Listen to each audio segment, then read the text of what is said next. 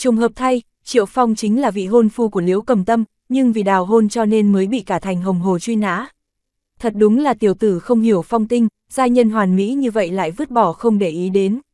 Chờ tạo xuất ra tuyệt kỹ ẩn tàng, đánh ngã ngươi, chắc chắn sẽ giành được sự yêu ái của giai nhân.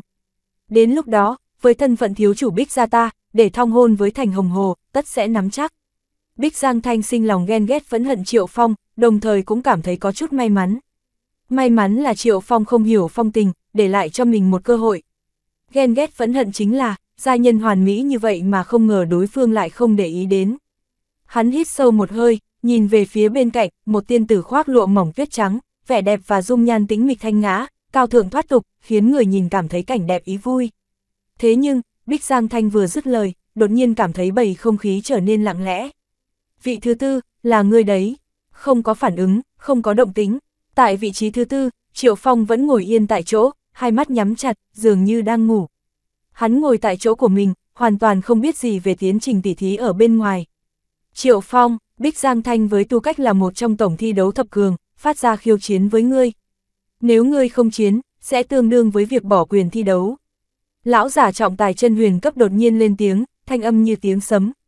Cho đến khi nhắc tới hai chữ Triệu Phong, thiếu niên tóc lam mới thản nhiên mở mắt, vẻ mặt có chút mơ hồ. Bên dưới đài cao, Liễu Cầm Tâm, Khương Tam Phong và đám tổng thi đấu thập cường đều ngây người.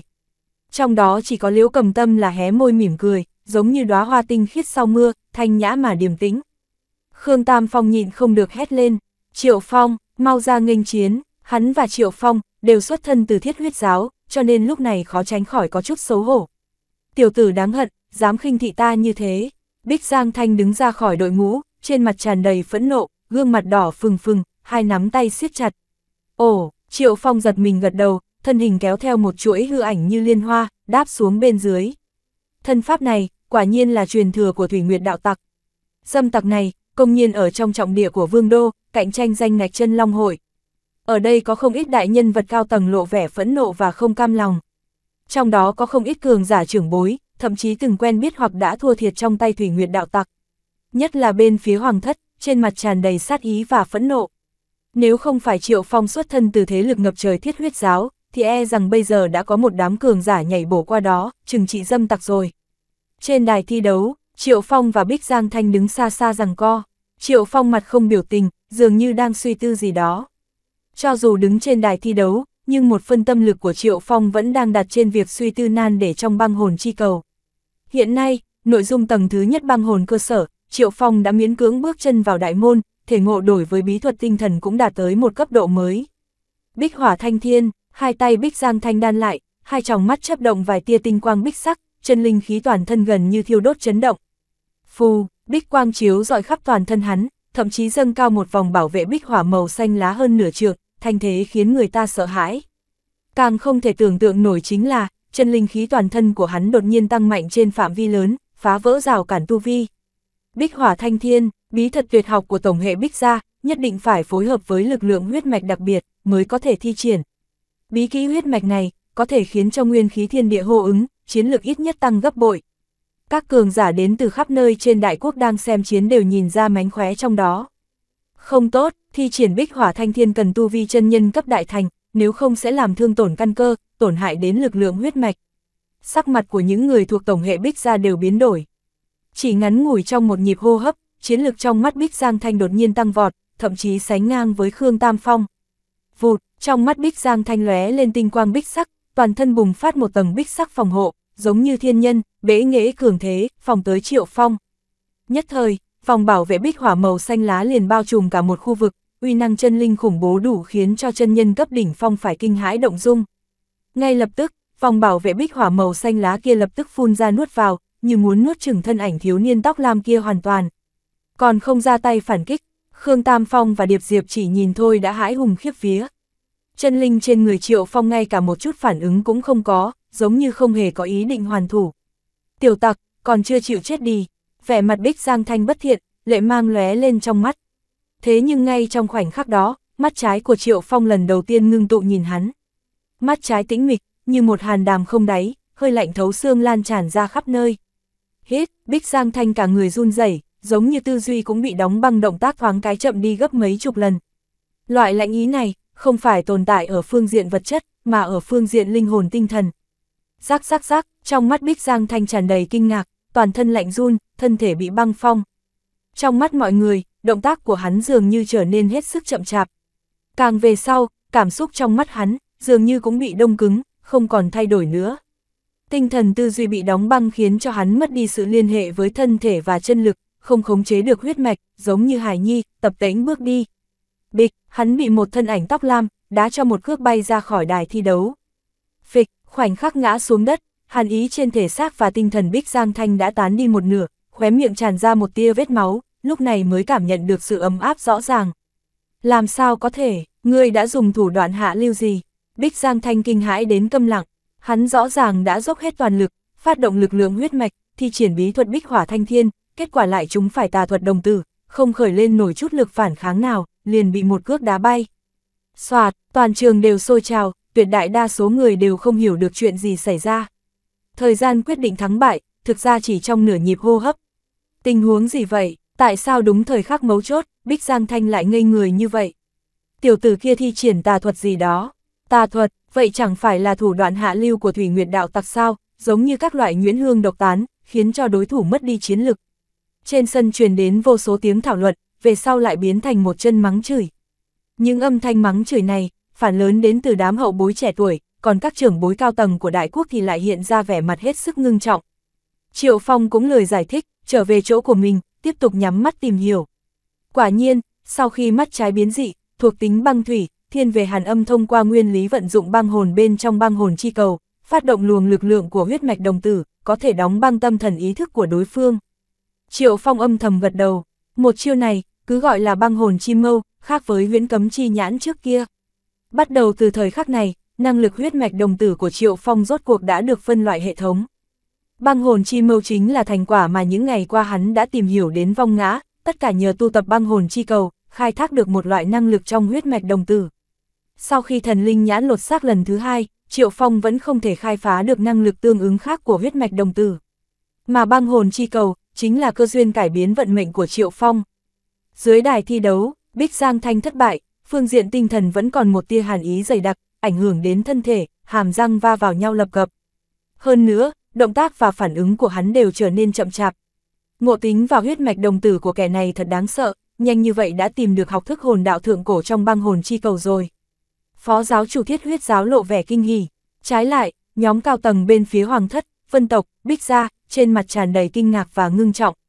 Với cấp độ của bọn hắn, tự nhiên có thể nhìn ra Triệu Phong đã dùng một chiêu chiến thắng cũng không phải là thủ đoạn hạ lưu gì, mà là một loại bí thuật huyết mạch đồng tử cao siêu.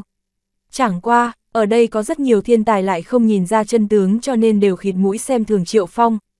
Tên tặc tử Triệu Phong này, không ngờ dám ở trước mặt mọi người sử dụng thủ đoạn hạ lưu. Thậm chí còn có người hoài nghi, Bích Giang Thanh có phải là cố tình thua cuộc để Triệu Phong lập uy hay không? Một chàng phong ba này, rất nhanh đã qua đi. Trong thời gian ngắn, Bích Giang Thanh không dám tiếp tục khiêu chiến nữa, giữ lại một cơ hội, để cho trưởng bối trong gia tộc chữa thương. Ngay sau đó, Khương Tam Phong cường thế ra tay, khiêu chiến với tên hạng 6 trong thập tinh đại quốc, nhất chiến thành công. Dù sao, hắn trước kia cũng xếp hạng thứ tư trong thập tinh đại quốc. Sau đó, thiên tài trong tổng thi đấu thập cường đều lần lượt khiêu chiến, phần lớn đều kết thúc bằng thất bại. Triệu Phong lại nhắm mắt tham ngộ, không hề quan tâm đến ngoại giới. Thông qua màn thực tế vừa rồi, lý giải của hắn về huyết mạch đồng tử đã tiến thêm một tầng. Huyễn cấm chi nhãn trước kia, chủ yếu là dùng tinh thần huyễn thuật vây khốn tinh thần ý chí địch nhân, khiến cho đối phương gân mỏi lực kiệt. Chú trọng ở một chữ huyễn, băng hồn chi mâu có thể phát huy thuộc tính âm hàn của huyết mạch đồng tử, hoặc đóng băng hoặc suy giảm tâm thần đối phương có tính công kích và ăn mòn nhất định. Trong lòng Triệu Phong thầm nghĩ, dần trở nên rõ ràng. Bởi vậy, lần thứ nhất lột xác, mắt xanh ra đời, có lẽ là thuộc tính Phong chẳng qua khi đó lại không có bí thuật tương ứng để khai thác tiềm năng này. Nếu như bây giờ có băng hồn chi cầu, vậy thì trước kia chính là Phong chi mâu. Đáng tiếc, nếu như sớm đạt được băng hồn chi cầu, thành tựu của ta bây giờ, tuyệt đối không chỉ như vậy. Triệu Phong có chút tiếc hận, nhưng vẫn cảm thấy may mắn. Trong lúc hắn đang toàn tâm tìm hiểu, đột nhiên khứu giác ngửi thấy một mùi thơm tĩnh mịch mà thanh nhã. Ừm, trong lòng Triệu Phong có cảm ứng, liền mở mắt ra xem xét, lập tức phát hiện ra nhãn mỹ lệ điềm tĩnh thanh nhã đang mỉm cười nhìn mình. Liễu cầm tâm, trong lòng Triệu Phong, thì ra, Liễu cầm tâm đã khiêu chiến thành công, ngồi vào vị trí thứ 5, tiến nhập danh ngạch dự tuyển, trở thành một trong thập tinh của đại quốc. chương 332, đệ nhất đại quốc thượng. Lúc này, trên đài cao chính là xếp hạng của thập tinh đại quốc, theo thứ tự là Vị trí thứ nhất, Kim Thái Tử, vị trí thứ hai, Vương Tiểu Quái, vị trí thứ ba, Thiên Vân Chi, vị trí thứ tư, Triệu Phong, vị trí thứ năm, Liễu Cầm Tâm, vị trí thứ sáu, Khương Tam Phong trước sáu, vị trí này, thứ tự cơ bản rất ổn định. Chính thức thay đổi chính là những thứ tự đằng sau, đặc biệt là vị trí thứ 9 và vị trí thứ 10. Bên tay phải của Triệu Phong là Thiên Vân Chi, còn bên tay trái là Liễu Cầm Tâm. Bởi vì Liễu Cầm Tâm đến, khiến Triệu Phong dường như có chút áp lực, nên cũng không tiếp tục ngái ngũ nữa. Liễu Cầm Tâm ngồi bên cạnh, điềm nhiên u tính không hề có nửa phần trách móc, trên gương mặt xinh đẹp ngược lại lộ ra một tia vui mừng. Từ sau khi đào hôn khỏi thành hồng hồ, hai người đã có ước định, nên cũng không giải trừ hôn ước. Nói cách khác, hai người đang có quan hệ hôn phu, hôn thê, đều đứng trong hàng ngũ thiên tài phong vân. Nếu như không có gì bất ngờ xảy ra, hai người sẽ đồng thời bước vào sân khấu thịnh thế đỉnh phong nhất đại lục, thánh vực chân long hội. Loại duyên phận trùng hợp này, khiến cho vận mệnh tương lại tràn ngập đặc sắc và đủ loại biến số. Trong lòng liễu cầm tâm rất bình yên thỏa mãn, ngưng mắt nhìn thiếu niên tóc lam gần trong gang tấc, có cảm giác ấm áp. Cùng ngồi trên đài cao, Triệu Phong ngẫu nhiên chạm mặt với liễu cầm tâm, hắn có chút xấu hổ, còn nàng thì vẫn không nói gì, tựa cười mà không phải cười. Vị kim thái tử hạng nhất nheo mắt lại, ánh mắt đảo qua Triệu Phong và liễu cầm tâm. Đặc biệt là khi dừng lại trên mặt liễu cầm hãm, hắn khẽ dừng lại một chút, khó tránh khỏi xuất hiện một tia kinh diễm. Liễu cầm tâm này, bất kể tư sắc, khí chất, thiên phú đều có thể sánh ngang với phi hậu, hơn nữa, loại nữ nhân này càng thích hợp làm thê tử hơn. Nếu có thể lấy nàng làm vợ, ta sẽ được hồng hồ liễu tộc ủng hộ, thậm chí lôi kéo được quan hệ với tổng hệ liễu tộc và cầm vương phi, tương lai sẽ tăng thêm vài phân chắc chắn trèo lên ngôi vị quốc quân. Kim Thái tử không khỏi cảm thấy tim đập thình thịch, gương mặt có chút béo phì thiếu chút nữa nở nụ cười ngây ngô thất thố. Hắn càng nghĩ lại càng động tâm, đầu tiên là mị lực, tư sắc của liễu cầm hãm hoàn toàn bất đồng với cầm vương phi, nhưng lại có thể so sánh với vị vương vị khuynh thế này. Càng quan trọng hơn, nàng theo nhạc đạo truyền thừa, cho nên nội tâm điềm nhiên tĩnh mịch của nàng, sẽ không mang lòng dã tâm như cầm vương phi. Tiếp đó, sau lưng liễu cầm tâm còn có chỗ dựa khổng lồ. Hồng hồ liễu tộc, trước khi liễu cửu thiên tấn chức chân chủ cấp, thế lực này đã là thế lực nổi bật trong hàng ngũ phân tộc. Khi hồng hồ thành chủ bước vào chân chủ cấp, thực lực nội tình thực ra đã không còn thua kém bất kỳ đại tộc nào trong tứ tộc. Đương nhiên, Kim Thái Tử cũng không biết rằng giữa cầm Vương Phi và Liễu Cầm Tâm có một mối thù không thể hóa giải. Nhưng lúc này, hắn đã quyết định, Chu Lân, Kim Thái Tử thông qua linh thức truyền âm, liên hệ với một thiếu niên áo bào tím ở trong tổng thi đấu thập cường. Kim Đại ca, ngài có gì phân phó? Thiếu niên áo bào tím cung kính nói. Hai người bắt đầu truyền âm trao đối với nhau. Thì ra, thiếu niên áo bào tím này cũng là một vị thiên tài trong hoàng thất, thân mang lực lượng huyết mạch cường đại, trong thập cường đại quốc, xếp hạng thứ tư, thực lực còn mạnh hơn cả Bích Giang Thanh. Người có hai lần cơ hội khiêu chiến, hãy dùng một lần khiêu chiến Triệu Phong, thăm dò hư thực của hắn. Nếu như ta nhớ không lầm, trên người ngươi có một khối hộ thần ngọc bội, có khả năng chống cự tinh thần công kích nhất định. Kim Thái tử phân phó, không thành vấn đề, cho dù ta đánh không lại tên tặc tử này, nhưng nhất định có thể khai thác được càng nhiều bí mật trên người hắn. Trên mặt thiếu niên áo bào tím Chu Lân tràn ngập tự tin. Nếu như muốn đánh bại Triệu Phong, khả năng không lớn lắm, nhưng chỉ cần bước đối phương bại lộ thực lực thì có lẽ không khó lắm. Huống chi, hắn còn có một kiện vật phẩm hồn đạo hộ thân hiếm thấy. Chu Lân đứng ra khỏi đội ngũ, ánh mắt lạnh lùng sắc bén như kiếm, quát. Triệu Phong tặc tử, người sử dụng thủ đoạn dâm tà của Thủy Nguyệt đạo tặc, số danh lan truyền, còn dám đến vương đô kiêu ngạo xính cường, có tư cách gì tham gia chân long hội chứ? Hôm nay ta sẽ, vụt, hắn còn chưa nói hết lời, Triệu Phong ở trên đài cao đã biến mất khỏi vị trí. Cần gì nói nhảm nhiều như vậy, thân ảnh như quy mị của Triệu Phong kéo theo một đạo điện mang, xuất hiện trên đài thi đấu. Ngươi, lời nói của Chu Lân khựng lại, ngọn lửa vô danh trong lòng bùng cháy, nhanh chóng nhảy lên đài thi đấu. Hai người đứng cách nhau khoảng 10 trượng, rằng co không nhượng bộ. Trọng tài bắt đầu tuyên bố, Chu Lân hít sậu một hơi, đem ý thức bảo vệ linh đài, sao, đã chuẩn bị thừa nhận công kích huyết mạch đồng tử của Triệu Phong. Sao huyệt linh đài có tác dụng thanh tâm ở đốt sống lưng thứ năm. O, O, O, N, G, hai tay hắn đan vào nhau, lực lượng huyết mạch khai mở, trên người bừng lên một đạo hư ảnh màu cam, bên ngoài làn da của hắn xuất hiện một tầng hoa văn xích hoàng sắc, cơ bắp cốt cách đột nhiên trở nên cường tráng. Huyết mạch hoàng thất, dưới sân truyền đến một trận ồn ào, thần linh nhãn của Triệu Phong có chút ngưng tụ, phát hiện thể chất và lực lượng cơ thể của Chu Lân đột nhiên tăng mạnh.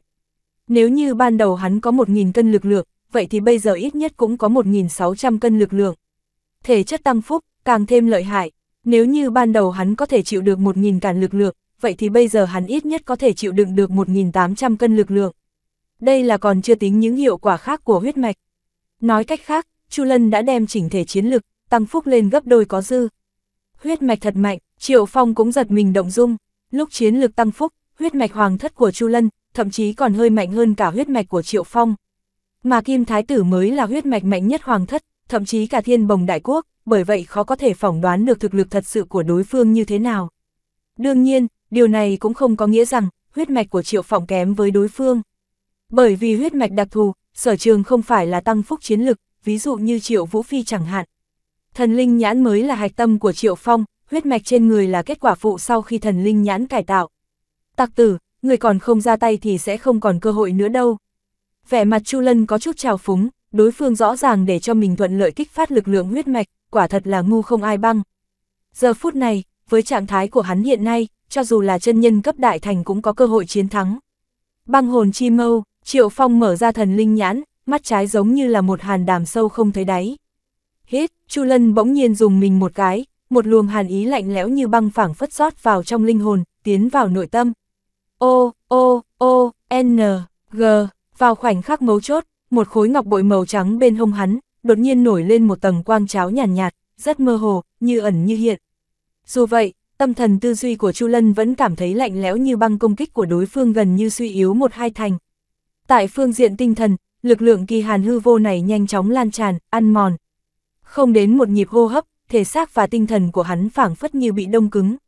Người ở bên ngoài, chỉ thấy Chu Lân giống như phát ngốc, động tác, thân xác trở nên trì trệ, thân hình thoáng run rẩy, trong mắt tràn đầy bất lực và sợ hãi. Bịch, Triệu Phong chậm rãi bước tới, đá ra một cước, mọi người đều trọn mắt há hốc mồm, có khiếp sợ, có kinh hô, có trơ mắt nhìn Chu Làn bị một cước này đá ra khỏi đài thi đấu. Không đợi trọng tài tuyên bố, Triệu Phong đã biến mất khỏi đài thi đấu, trở về vị trí của mình. Ọc, Chu Làn rơi xuống đất thổ huyết, tư duy và động tác vẫn còn trì trệ, vẻ mặt ngây ngần, tràn đầy kinh hãi. Làm sao có thể, ngay cả một ánh mắt của hắn, ta cũng không cản được. Vụt, toàn trường trở nên xôn xảo, với thực lực và lục lượng huyết mạch của Chu Lân, không ngờ lại không có chút khả năng phản kháng nào. Vẻ mặt Kim Thái Tử trở nên nghiêm trọng, trong thập đại tân tinh dự tuyển, Triệu Phong và Thiên Vân Chi đều giải quyết đối thủ bằng một chiêu. Khác nhau ở chỗ, đao ý hình thức ban đầu của Thiên Vân Chi đã thai ngén phát triển, so với trước kia càng kiên cố cường đại hơn, công kích bá đạo mang tính áp đảo, kết thúc rất nhanh, có thể nói là miễu sát đối thủ. Mà đối thủ của Triệu Phong thì căn bản không có sức phản kháng, tà dị vô cùng. Về phần xếp hạng nhất và hạng hai như Kim Thái Tử và Vương Tiểu Quái, cho đến bây giờ vẫn chưa có người nào dám khiêu chiến. Thiên Vân chi bị khiêu chiến, là bởi vì có một tên thiên tài ôm lòng may mắn, cho rằng đao ý của hắn không còn, chiến lực đại tổn, hy vọng có thể chiếm tiện nghi.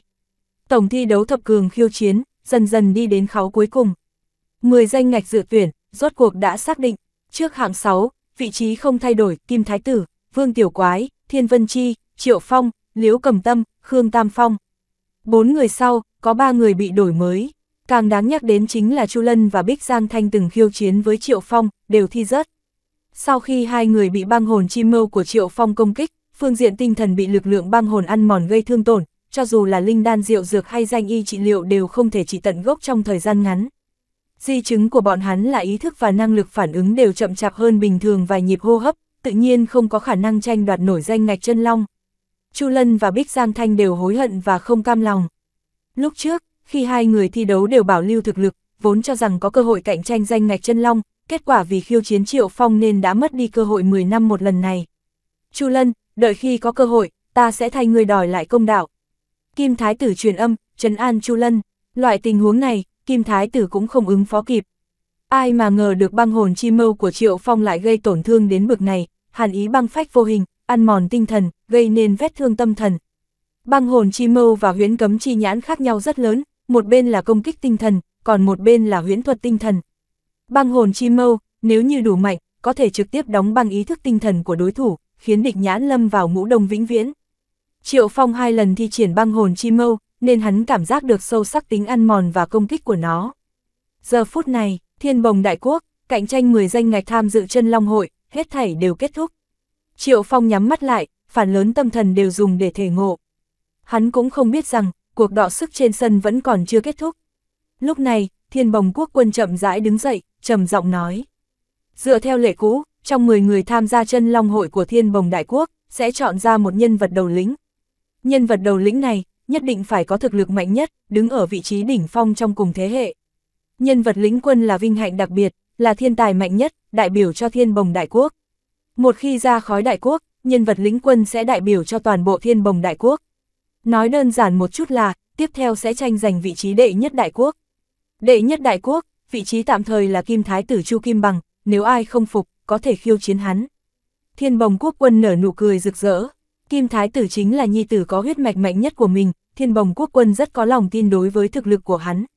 Luận tu vi, Kim Thái tử là chân nhân cấp đỉnh phong, so với bất kỳ thiên tài nào ở đây, đều chỉ cao hơn chứ không thấp hơn. Luận huyết mạch, Kim Thái tử cũng là người được công nhận là mạnh nhất đại quốc. Thế nhưng lời của thiên bồng quốc quân vừa dứt, Vương Tiểu Quái xếp hạng thứ hai và Thiên Vân Chi xếp hạng thứ ba đã đứng dậy, chiến ý đằng đằng. Khắc khắc khắc, đệ nhất đại quốc, ngoại trừ ta ra, không thể là ai khác. Vương Tiểu Quái một tay cảm một thanh kim ngân đại côn, tàn ảnh nhoáng lên, đáp xuống trên đài thi đấu. Mọi người trên sân không khỏi kinh ngạc, thế nhưng không ai dám khinh thường thực lực của Vương Tiểu Quái. Lần cạnh tranh danh ngạch này, chỉ có Hạn và Kim Thái Tử là từ đầu đến cuối không có người nào dám khiêu chiến, từ đó cũng có thể phần nào thấy được thực lực của bọn hãn. Kim Thái Tử cười đài một tiếng, giống như một đầu kim bằng, bay xuống đài thi đầu. Phành, đài thi đấu khẽ run lên, khó có thể tưởng tượng nổi khí lực lực lượng của Kim Thái Tử là như thế nào. Đông, Vương Tiểu Quái càng không yếu thế, Kim Ngân Đại Côn nện xuống đài lập tức vang lên tiếng nổ lớn, chấn động không dứt. Toàn thân cơ bắp của hắn không có chút cảm giác huyết nhục nào, giống như kim thiết nham thạch, nhất cử nhất động có thể dung chuyển cả tòa núi cao, có thể tùy tiện nghiền chết chân nhân cấp bình thường. Ừm, huyết mạch thượng cổ, Triệu Phong bừng tỉnh, một tia huyết trạch lam nhạt ẩn sâu trong thể nội khẽ run lên, thậm chí còn có một tia cảm giác áp bách. chương 333, đệ nhất đại quốc trung. Vương tiểu quái bộ dạng luộm thuộm hời hợt, trong mắt nổi lên từng tia tử kim rực rỡ. Lực lượng huyết mạch của hắn vừa mở ra, đại côn trong tay cũng nện xuống, đài thi đấu khẽ lắc lư, lực lượng khủng bố như vậy, thậm chí có thể chấn chết cả chân nhân cấp đại thành. Thiên phú huyết mạch thật mạnh, dưới sân nổi lên một trận xôn xao, ngay cả Triệu Phong cũng bừng tỉnh, lực lượng huyết mạch trong thể nội cảm ứng được khí tức huyết mạch thượng cổ của đối phương, không ngờ lại sản sinh cảm giác áp bách nhàn nhạt. Đây là tình huống Triệu Phong hiếm khi gặp phải, đơn giản là có hai loại tình huống, một là phẩm cấp huyết mạch của vương tiểu quái rất cao, hai là huyết mạch đã giác tỉnh, phản tổ, đạt tới một trình độ tương đối cao. Ví dụ như tỷ lệ giác tỉnh bình thường của một loại huyết mạch đạt tới 1 phần 10, mà loại giác tỉnh kia thì đạt tới 1 phần 10 vạn. Ha ha ha, đây chính là phong vân môn ta mang đến kinh hỉ cho thế nhân. Huyết mạch của vương tiểu quái, vào nửa năm trước đã tiến thêm một bước đột phá, phản tổ, uy năng không thể so sánh. Địa vị huyết mạch mạnh nhất đại quốc của Kim Thái Tử, e rằng ngồi không yên rồi. Cao tầng phong vân môn đều hoan hỉ, phong vân môn xuất hiện một vị thiên tài huyết mạch, thật đáng mừng. Phó giáo chủ thiết huyết giáo mỉm cười, hướng về phía phong vân môn chủ chúc mừng. Tại thiên bồng đại quốc, phong vân môn xem như đồng minh cùng trận doanh với thiết huyết giáo. Vương tiểu quái này xuất thân từ phong vân môn, tính cách quái đản, từ nhỏ đã là một quái thai, lực lượng lớn vô cùng, đánh nhau liều mạng không muốn sống, huyết mạch trong cơ thể hắn giác tỉnh, được phong vân môn hết mực bồi dưỡng. Thiên Vân Chi nhìn thấy Triệu Phong hiếu kỳ, liền chủ động giải thích. Triệu Phong không khỏi có chút kinh ngạc, tên Thiên Vân Chi này không phải có thủ oán với mình sao? Ngày trước, một kích thủy nguyệt tiên đào phiến cường thế của Triệu Phong đã gần như phá hủy tính mạng và tiền đồ của đối phương. Trong những đối thủ cường đại mà cuộc đời ta đã gặp qua, chỉ có hai người đáng kính nể, cảm kích, một người khiến ta lĩnh ngộ đao ý, còn một người khác, chính là ngươi, khiến đao ý của ta phá rồi lại lập, trọng sinh rực rỡ.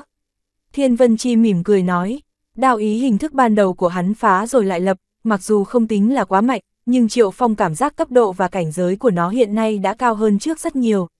Khó trách vừa rồi Thiên Vân Chi cũng muốn khiêu chiến với Kim Thái Tử. Vương Tiểu Quái, huyết mạch của ngươi tăng cường rồi, thế nhưng ngươi cũng không phải đối thủ của huyết mạch hoàng thất ta đâu.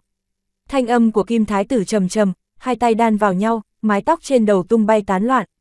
O, O, O, N, G, cốt cách huyết nhục toàn thân của hắn, đặc biệt là làn da, tăng thêm một vòng, nổi lên một tầng hoa văn màu vàng óng ánh. Trong nháy mắt, thân hình của Kim Thái Tử đã cao thêm hai thước, làn da huyết nhục bành trướng, lộ vẻ khôi ngô cường tráng. Không chỉ vậy, sau lưng của hắn còn hiện ra một hư ảnh cường đại, cao chừng một trượng. Thần linh nhãn của Triệu Phong co rút lại, ngưng mắt nhìn, liền phát hiện hình thái của hư ảnh kia giống một loài vật nào đó.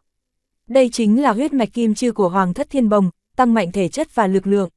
Người mang huyết mạch kim chư này, có thể ngăn cản được vài cường giả cùng cấp vây công. Huyết mạch kim chư của kim thái tử, cường độ kích phát rất cao, còn có nguyên bộ bí thuật huyết mạch hoàn thiện. Phanh phanh phanh, hai thiên tài thân mang đại lực lượng, phát động lực lượng huyết mạch, mỗi bước chân đều khiến đài thi đấu rung động khe khẽ. Địa sát phong vân côn, vương tiểu quái hú lên một tiếng quái dị, đại côn màu bạc mãnh lực vung lên, côn ảnh tử thanh sắc gào rít, quét ngang phương viên trăm trượng, uy năng cường đại bao trùm khắp đài thi đấu. Kim diệt đồ ma trường, kim thái tử thét dài một tiếng, hoa văn màu vàng óng ánh trong lòng bàn tay khuếch trương, lớn cỡ một cái quạt hương bồ, vỗ mạnh một cái, trường ảnh khổng lồ màu vàng lấp lánh đánh về phía vương tiểu quái. Âm âm âm, hai luồng lực lượng như đại sơn lay động, va chạm cùng một chỗ, lực lượng huyết mạch và chân linh khí dung hợp đan sen, phá vỡ rào cản cảnh giới. Lực lượng của một người, muốn siêu việt cấp độ tu vi của bản thân, quả thật thập phần khó khăn. Nhưng cũng không phải là không có khả năng, thường thấy nhất chính là phát động bí thuật, hoặc là thiêu đốt chân linh khí, chẳng qua phải trả một cái giá rất đắt. Còn một cách nữa là sử dụng thần binh mạnh hơn, nhưng cũng tiêu hao rất lớn, khó mà khống chế được. Mà lực lượng huyết mạch lại là phương pháp tốt nhất, không có tác dụng phụ. Bởi vậy, thiên tài huyết mạch đều là thiên chi sủng nhi sao có thể phá vỡ rào cản cảnh giới, phát huy chiến lực vượt cấp. Sao con cưng của trời, Kim Thái Tử và Vương Tiểu Quái trước mắt chính là đại biểu điển hình. Trận chiến của hại người khiến đài thi đấu lưu lại từng vết nứt lớn. Những đối thủ dự thi trước, khó có thể khiến đài thi đấu hư hao chút nào. Có cảm giác như, đây phảng phất là trận chiến của hai cự nhân, thỉnh thoảng lại khiến cho đài thi đấu run rẩy. Hai tên này thật biến thái. Thiên chi kiêu tử đến từ khắp nơi trên đại quốc nhìn thấy trận chiến lúc này, đều kinh hãi đến lạnh người. Những đối thủ dự thi tổng thi đấu thập cường đều không khỏi có chút may mắn vì lúc trước không khiêu chiến Kim Thái Tử và Vương Tiểu Quái. Thực lực chân nhân cấp đỉnh phong trở xuống, đối mặt với hai người này, không bị một tát đánh nát người thì cũng bị một gậy đập chết. Âm âm âm, chiến đấu hồi lâu, chỗ đài thi đấu của hai người đã xuất hiện nhiều chỗ dạn nứt, bụi bặm dâng lên đầy trời. Luận lực lượng huyết mạch, hai người đại khái tương đương, Vương Tiểu Quái thì có huyết mạch phẩm cấp cao hơn, còn Kim Thái Tử thì lại có cường đại huyết mạch thâm hậu hơn, lại còn phối hợp với cả bí thuật. Thần linh nhãn của Triệu Phong quan sát hai người trên sân. Ngay trong khoảnh khắc đó, thần linh nhãn của Triệu Phong mở ra, quan sát lực lượng huyết mạch và phương thức vận chuyển chân linh khí trong cơ thể của hai người. Kết quả, hắn phát hiện hai người đều có phương pháp vận dụng nhất định đối với lực lượng huyết mạch. Trong đó, Vương Tiểu Quái dường như có chút không lưu loát. Còn Kim Thái Tử thì tuyệt đối trọn vẹn có hệ thống. 2. Triệu Phong tự vỗ lên chán mình một cái. Quan sát kỹ xảo vận dụng huyết mạch của Kim Thái Tử và Vương Tiểu Quái, hắn mới phát hiện ra phương pháp sử dụng lực lượng huyết mạch của mình thô sơ cỡ nào. Không phải thô sơ, mà Triệu Phong căn bản không chưa từng nhập môn, chỉ có thể sử dụng thô sơ không chút kỹ xảo. Đương nhiên, điều này cũng không thể trách Triệu Phong hoàn toàn được, lực lượng huyết mạch của hắn bắt nguồn từ thần linh nhãn ngày trước dung nhập, cải tạo thân thể, mang đến kết quả ngày hôm nay. Bởi vậy, hắn không có lý thuyết vận dụng kỹ xảo lực lượng huyết mạch, lại càng không có phương pháp hệ thống giác tỉnh. Nếu so sánh, lực lượng huyết mạch của Kim Thái Tử có nguyên bộ bí thuật, có nguyên vẹn hệ thống để phát huy. Dù sao, huyết mạch hoàng thất cũng là truyền thừa từ đời này sang đời khác, hệ thống rất hoàn thiện. Ừm, mất bò mới lo làm chuồng, nhưng xem như vẫn không quá muộn. Triệu Phong toàn lực mở ra thần linh nhãn, bắt đầu quan sát phương pháp sử dụng lực lượng huyết mạch trong cơ thể của hai người. Trong đó, khả năng vận dụng kỹ xảo của Kim Thái Tử thập phần thành thục. Còn Vương Tiểu Quái có lẽ vì thiên phú huyết mạch hiếm thấy, cho nên hệ thống cũng không hoàn chỉnh. Chẳng qua, hắn vẫn mạnh hơn Triệu Phong rất nhiều. Thứ nhất, lực lượng huyết mạch của Vương Tiểu Quái là trời sinh, trải qua một thời gian dài thản thể có thể thích ứng và phát huy theo bản năng. Thứ hai sau khi huyết mạch của hắn giác tỉnh, hắn đã được phong vân môn trọng điểm bồi dưỡng, lại có cao nhân chỉ điểm. Mà Triệu Phong thì lại bắt đầu giữa chừng, đến từ một nơi cực kỳ xa xôi, huyết mạch lại đặc thù hiếm thấy. Trong lúc quan sát, năng lực học tập, phân tích của thần linh nhãn đã phát huy tác dụng, nhìn trộm được một ít bản chất bên trong. Lực lượng huyết mạch của Kim Thái Tử và Vương Tiểu Quái đều thuộc loại hình tăng phúc lực lượng, thiên hướng thuộc tính không rõ ràng. Thế nhưng trong một vài lực lượng huyết mạch như tăng tốc độ, cường độ, thậm chí vẫn kèm theo thuộc tính. Trong lúc Triệu Phong phân tích lĩnh ngộ, đột nhiên nhớ đến một vài loại lực lượng huyết mạch mà trước kia mình đã gặp. Bích Giang Thanh lúc trước, lực lượng huyết mạch của hắn có thuộc tính tăng phúc hiệu quả, có thể kích phát ra diễm hỏa bích thanh cường đại. Như vậy, bản thân Triệu Phong thì sao? Lực lượng huyết mạch của ta, hạch tâm vẫn là thần linh nhãn, trước kia màu xanh, bây giờ là màu lam. Vậy thì lực lượng huyết mạch của ta hiện nay, nhất định là thuộc tính hàn thủy rồi. Triệu Phong nhắm mắt lại, bắt đầu dứt khoát tìm hiểu. Sâu trong cơ thể, một tia huyết trạch lam nhạt, với phương thức vận chuyển đặc biệt, bằng các loại phương thức khác nhau, kết hợp với huyết nhục, cốt cách, chân linh khí. Phương pháp mà Triệu Phong vận dụng, chính là từ Kim Thái Tử và Vương Tiểu Quái. Hệ thống của Kim Thái Tử càng nguyên vẹn hơn, Vương Tiểu Quái đồng dạng cũng là huyết mạch thượng cổ, tương đồng với Triệu Phong. O, O, O, N, G, huyết trạch lam nhạt trong cơ thể Triệu Phong, cùng với chân linh khí dâng lên, kết hợp cùng một chỗ, sau đó dung nhập vào huyết nhục, cốt cách. Thoáng chốc, trong cơ thể Triệu Phong sinh ra từng đoàn khí thanh lam, dòng điện chập chờn rất nhỏ, hàn khí tỏa ra bốn phía. Đơn giản vậy sao, quả thật không thử thì không biết. Triệu Phong mừng rỡ không thôi huyết mạch dừng lại trước bình cảnh nhiều năm, nay lại nhất cử đột phá. Hắn vận dụng càng lúc càng quen thuộc, huyết trạch lam nhạt trong cơ thể qua lại càng thông suốt, đi đến tất cả những nơi hẻo lánh trong cơ thể. Mỗi lần thúc giục, lực lượng huyết mạch của Triệu Phong lại càng trở nên tinh khiết hơn. Triệu Phong rất nhanh đã hoàn thành một hệ thống đơn giản, lấy thần linh nhãn làm hạch tâm, lực lượng huyết mạch vận chuyển sinh sinh bất tận, tới lui trong thân thể huyết nhục gân cốt. Mỗi lần vận chuyển, hắn đều phát giác lực lượng huyết mạch trong cơ thể mình kích phát ra càng lớn mạnh hơn. Như vậy cũng tốt hơn trước kia rất nhiều, rốt cuộc hắn đã tìm được cách phát huy, khai thác ra kỹ xảo lực lượng tốt hơn. Luồng khí tức này, Liễu Cầm Tâm và Thiên Vân Chi ở bên cạnh cũng mơ hồ cảm nhận được khí tức huyết mạch của Triệu Phong, huyết mạch của bản thân đột nhiên run sợ bất an. Thiên Vân Chi là hậu duệ của hai loại huyết mạch, huyết mạch tự nhiên rất cường đại. Mà huyết mạch của Liễu Cầm Tâm thì lại càng thần bí đặc thù hơn. Thời gian không ngừng trôi qua, trên đài thi đấu, Kim Thái Tử và Vương Tiểu Quái đánh nhau đến hừng hực khí thế, có ảo giác như sơn băng điện liệt.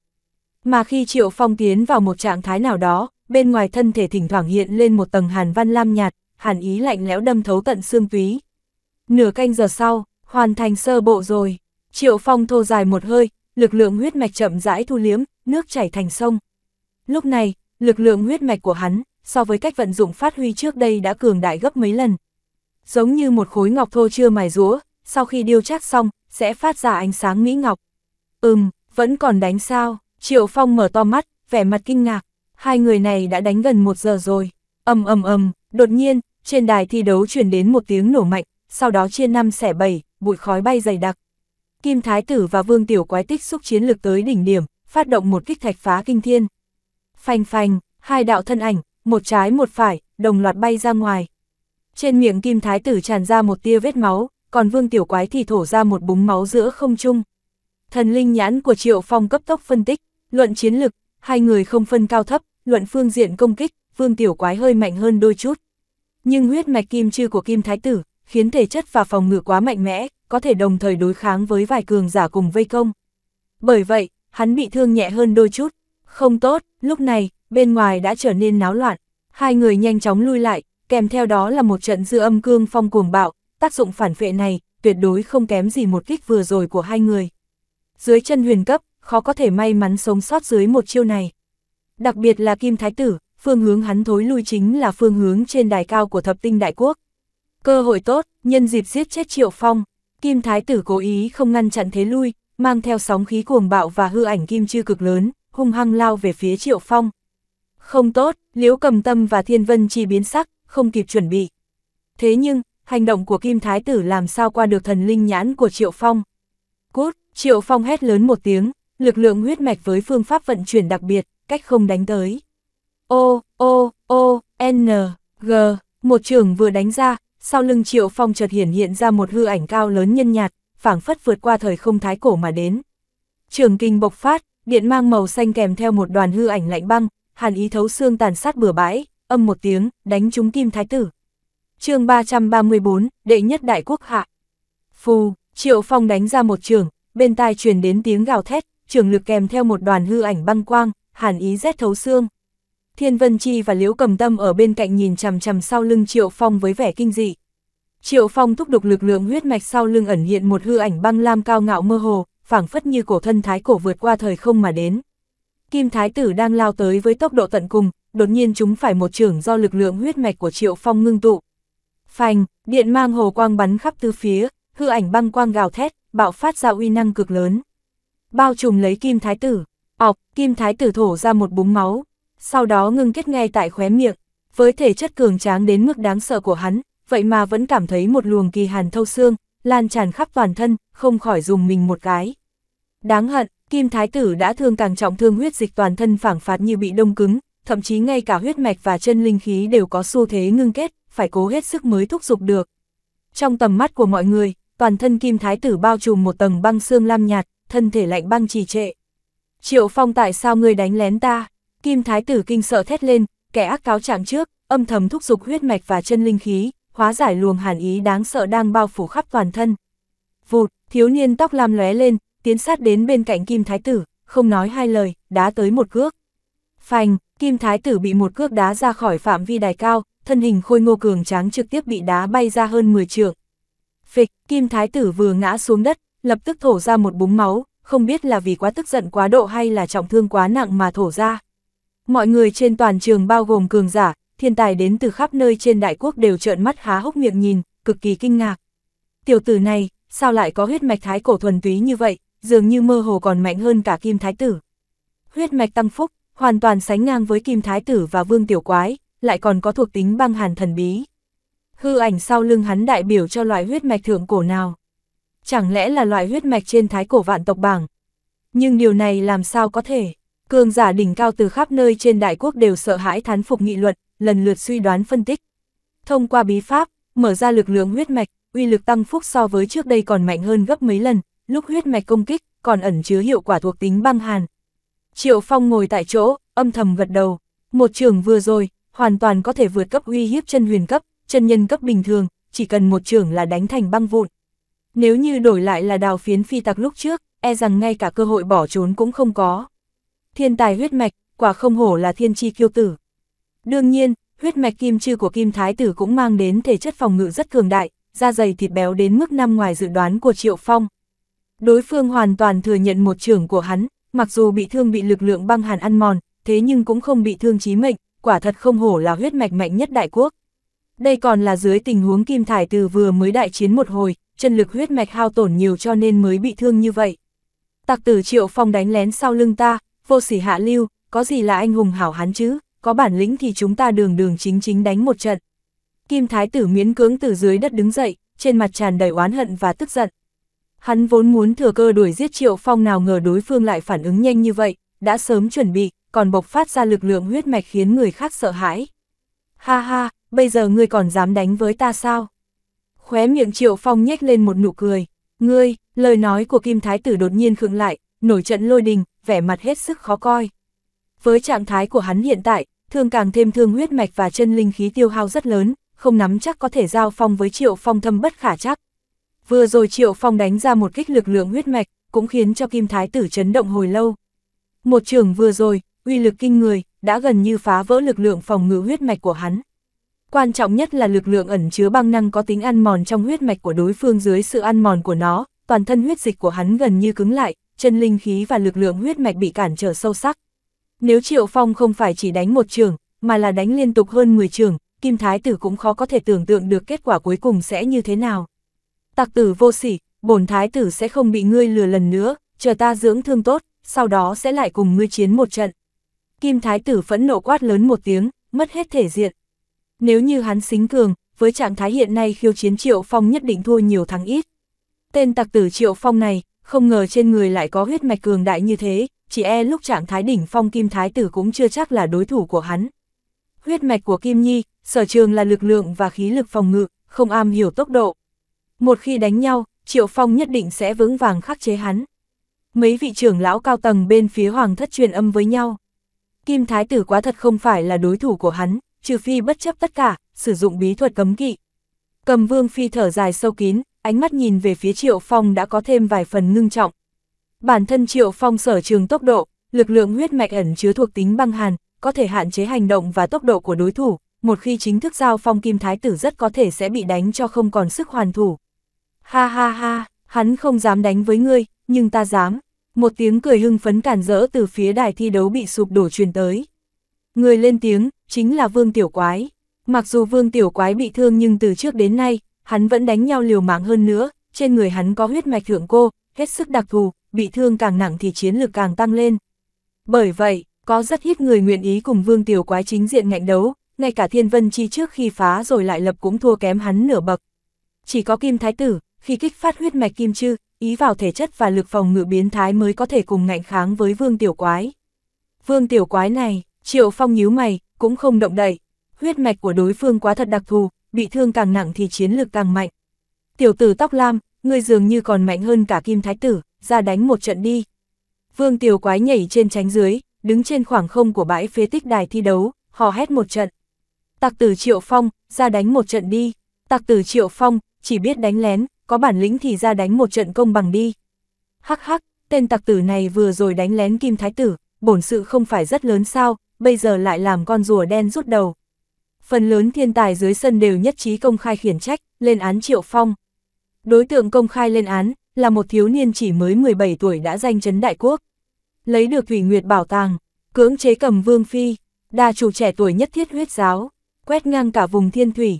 Hôm nay, hắn còn mơ hồ có xu thể trèo lên vị trí đệ nhất đại quốc. Tuổi như thế, thành tựu như thế, uy danh và vinh dự đặc biệt như thế, khiến cho bao nhiêu đại tân tinh thiên tài của đại quốc phải ghen ghét đỏ mắt. Thế nhưng, Triệu Phong vẫn ngồi tại chỗ, nhắm mắt lại, bộ dạng thờ ơ. Hắn đang thể ngộ bí pháp vận hành huyết mạch mới của mình, nghĩ cách hoàn thiện thêm, hình thành hệ thống của riêng mình. Quả thật, năng lực học tập của thần linh nhãn rất cường đại, phục chế những mặt học và chiêu thức hết sức dễ dàng. Thế nhưng đồ của người khác cuối cùng vẫn là của người khác, không nhất định sẽ thích hợp với mình. Tiểu tử tóc lam, người không chiến cũng phải chiến. Vương tiểu quái cuồng tiểu, vung kim ngân đại côn lên, nhào về phía triệu phong. Những trọng tài và nhân viên chấp pháp của Hoàng thất đều cố ý không ngăn cản, khóe miệng còn nhếch lên một nụ cười có vài phần hả hê.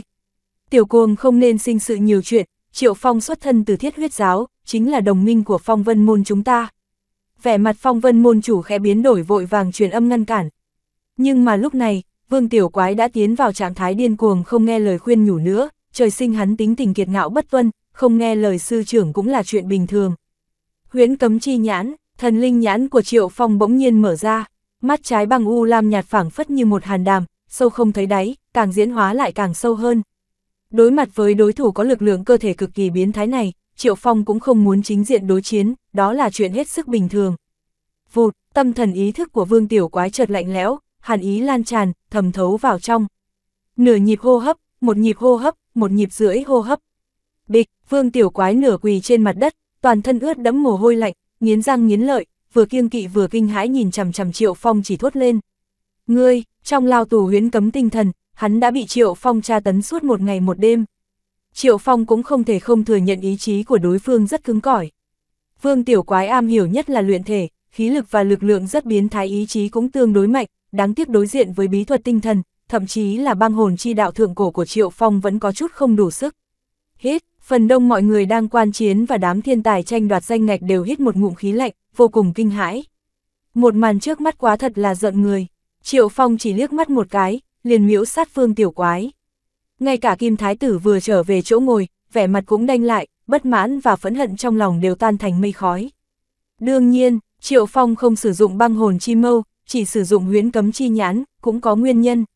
Băng hồn chi mâu có tính công kích và ăn mòn đối với tâm thần rất mạnh, có thể khiến cho đối thủ lâm vào tình cảnh vạn kiếp bất phục, tính nguy hiểm rất lớn. Mà huyễn cấm chi nhãn thì lại tương đối ôn hòa, dù sao cũng xuất thân từ huyễn thuật, chủ yếu là tra tấn và tiêu hao tâm thần tinh lực của đối phương, cho đến khi mục tiêu gân cốt kiệt quệ hoặc mê man bất tinh. Vương Tiểu Quái xuất thân từ phong vân môn, là đồng minh với thiết huyết giáo. Triệu Phong ra tay, tự nhiên phải bảo lưu phần nào. Sau khi liếc mắt đánh bại Vương Tiểu Quái, Triệu Phong lại lặng lẽ nhắm mắt. Lúc ra tay, hắn vẫn ngồi yên tại chỗ, căn bản không hề đứng dậy. Huyết mạch đồng tử của tiểu tử này, rốt cuộc có lai lịch gì?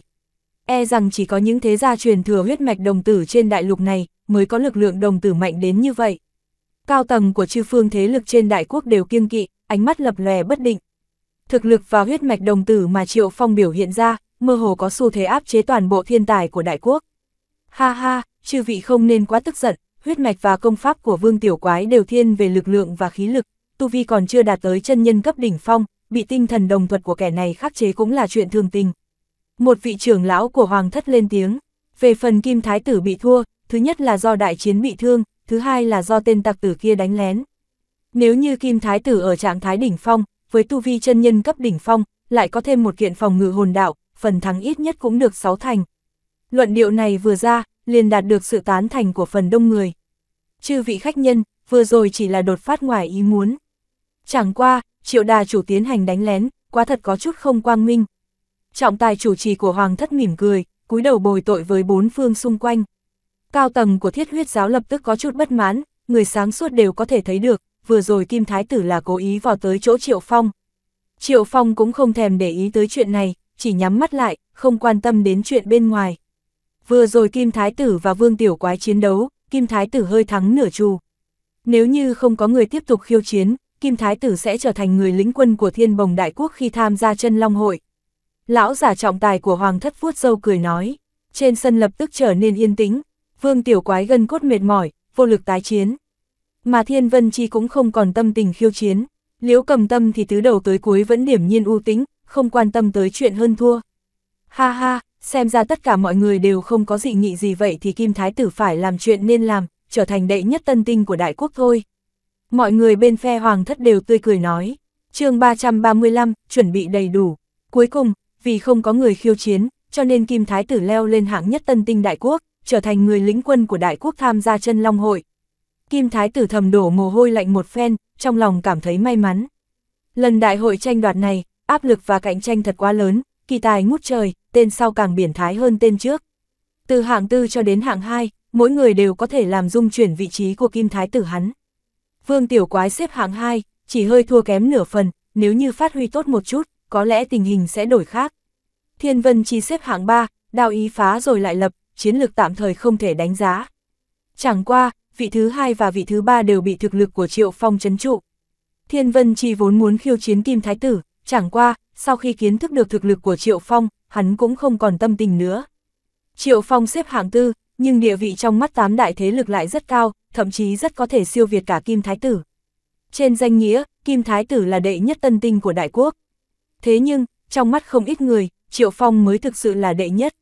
Chẳng qua, Triệu Phong hình như cũng không hứng thú với vị trí đệ nhất này, một mực nhắm mắt tìm hiểu tham ngộ. Băng hồn chi cầu đưa hắn đến một thế giới hồn đạo minh mông rộng lớn, có vô tận học thức huyền diệu, cần hắn tu tập tìm hiểu. Bí pháp huyết mạch chính là một trong những nhân tố khiến Triệu Phong có thể sơ bộ hoàn thành hệ thống huyết mạch của mình. Thánh vực chân Long hội, chỉ còn mấy tháng nữa là bắt đầu, Triệu Phong phải nắm chắc từng giây từng phút. Đại hội tranh đoạt rất nhanh đã tiến vào khâu cuối cùng. Tám phương thế lực hội tụ trên sân đều lần lượt tản đi. Triệu Phong chỉ lưu lại một phần tâm thần ở bên ngoài, phần lớn tâm lực đều đặt vào việc tìm hiểu. Thiết ma âm thầm gật đầu, phân phó mọi người không được quấy giày Triệu Phong. Một đường không nói chuyện, trở về tổng đà thiết huyết giáo. Đại điện thiết huyết giáo, thiết ma cười nói, đại hội tranh đoạt danh ngạch lần này, tổng cộng có 10 danh ngạch, thiết huyết giáo ta chiếm được hai cái, chiến tích này quả thật không tệ. Nhóm cao tầng của thiết huyết giáo cũng đều có mặt ở đây, vẻ mặt người nào người nấy đỏ bừng hưng phấn, cảm giác vô cùng hãnh diện. Số lượng danh ngạch nhiều, chỉ là một nguyên nhân trong đó. Không ít nhân vật cao tầng đều nhìn Triệu Phong với ánh mắt hiền lành chiều mến. Thiếu niên tóc lam này, bây giờ vẫn đang nhắm hai mắt lại, nhưng không người nào cảm thấy hắn cuồng vọng cả. Trong đại hội tranh đoạt danh ngạch, Triệu Phong một trưởng một cước đánh bay Kim Thái Tử, liếc mắt miếu sát phương tiểu quái, ngẫm lại quá thật có chút phấn chấn lòng người. Cho dù Triệu Phong không đoạt hạng nhất, nhưng hạng nhất và hạng hai đều đã bị hắn chấn trụ rồi. Ít nhất, mọi người có thể cảm nhận được, Triệu Phong mới là đệ nhất tân tinh của đại quốc. Đại hội tranh đoạt danh ngạch của đại quốc, chỉ là một cuộc thi nhỏ ngang qua, sân khấu khiêu chiến chính thức là Thánh vực chân Long hội. 100, vị thiên tài chân Long ra đời, rất có thể sẽ thay đổi vận mệnh của đại lục, dần dắt thời đại này. Ánh mắt của thiết ma lộ ra một tia hy vọng, Thánh vực chân Long hội, hắn đã chứng kiến vài chục lần. Nhưng thời đại này lại không giống bình thường kỳ tài có một không hai từ khắp nơi giống như măng mọc sau mưa ra đời, vượt qua mấy chục thời đại trước. Nếu không như vậy thì tỷ lệ kết nối giữa thiên cơ truyền thừa và đại lục cũng không trở nên cao đột biến như vậy. Lúc này, Triệu Phong đột nhiên mở mắt, cảm giác sự rộng lớn và mạnh mẽ của thế giới này, sóng nổi ầm ầm, là bất hạnh, nhưng cũng là may mắn. Lần thánh vực chân long hội này, thiết huyết giáo ta sẽ để bốn người Triệu Phong Khương Tam Phong Điệp Diệp, Đông Tuyết cùng tham gia. Thiết ma dứt khoát quyết định, làm sao lại biến thành bốn người rồi. Triệu Phong có chút khó hiểu, là thế này, thiết huyết giáo ta với tư cách là thế lực tông phái nửa tinh, thời kỳ đỉnh phong thậm chí tiếp cận nhất tinh, ngang bằng với thập đại tông phái. Bởi vậy, bản thân thiết huyết giáo ta có hai danh ngạch riêng. Toàn bộ thiên bồng đại quốc, cũng chỉ có một ít thế lực như Hoàng Thất, Thiết huyết giáo và cầm kiếm cung là có vinh dự đặc biệt này. Còn đám tứ đại tộc thì vẫn còn thiếu chút hỏa hầu. Một vị đà chủ ở bên cạnh giải thích, Triệu Phong không khỏi tình ngộ, luận nội tình thực lực, thiết huyết giáo so với một vài cường quốc còn cao hơn một. Bậc, cường quốc có hai danh ngạch, vậy thì thiết huyết giáo tự nhiên không thể thua kém. Cấp bậc của quốc gia sẽ nhận được số lượng danh ngạch tương ứng. Đồng dạng thế lực gia tộc tông phái, đủ cấp bậc thì cũng có thể hưởng được danh ngạch tương ứng phân chia cấp bậc đều dựa theo phân chia tông phái tinh cấp cổ xưa. Tông phái cấp bậc nửa tinh sẽ có hai danh ngạch, ví dụ như thiết huyết giáo chẳng hạn. Tông phái cấp bậc nhất tinh, có đến 10 danh ngạch, ví dụ như thiên nguyên tông của Bắc Đại Lục. Tông phái nhất tinh, chỉ ít có tôn giả đan nguyên cảnh tỏa chấn, đồng thời kèm theo rất nhiều điều kiện. Có thể nói, thập đại tông phái, mỗi nhà đều có tôn giả đan nguyên cảnh.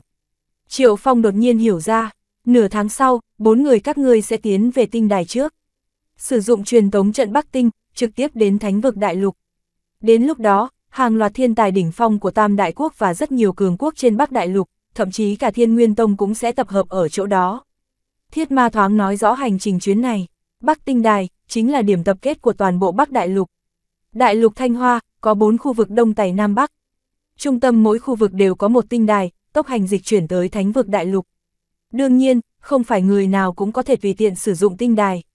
Sau khi hiểu rõ hành trình này, Triệu Phong lại quay về nơi ở, lập tức bắt đầu bế quan. Ba người Khương Tam Phong, Điệp Diệp, Đồng Tuyết, ngẫu nhiên bỏ ra chút thời gian để luận bàn, trao đổi. Nhưng bọn họ đều không tìm Triệu Phong. Triệu Phong và ba người bọn họ, hiển nhiên không cùng một cấp độ.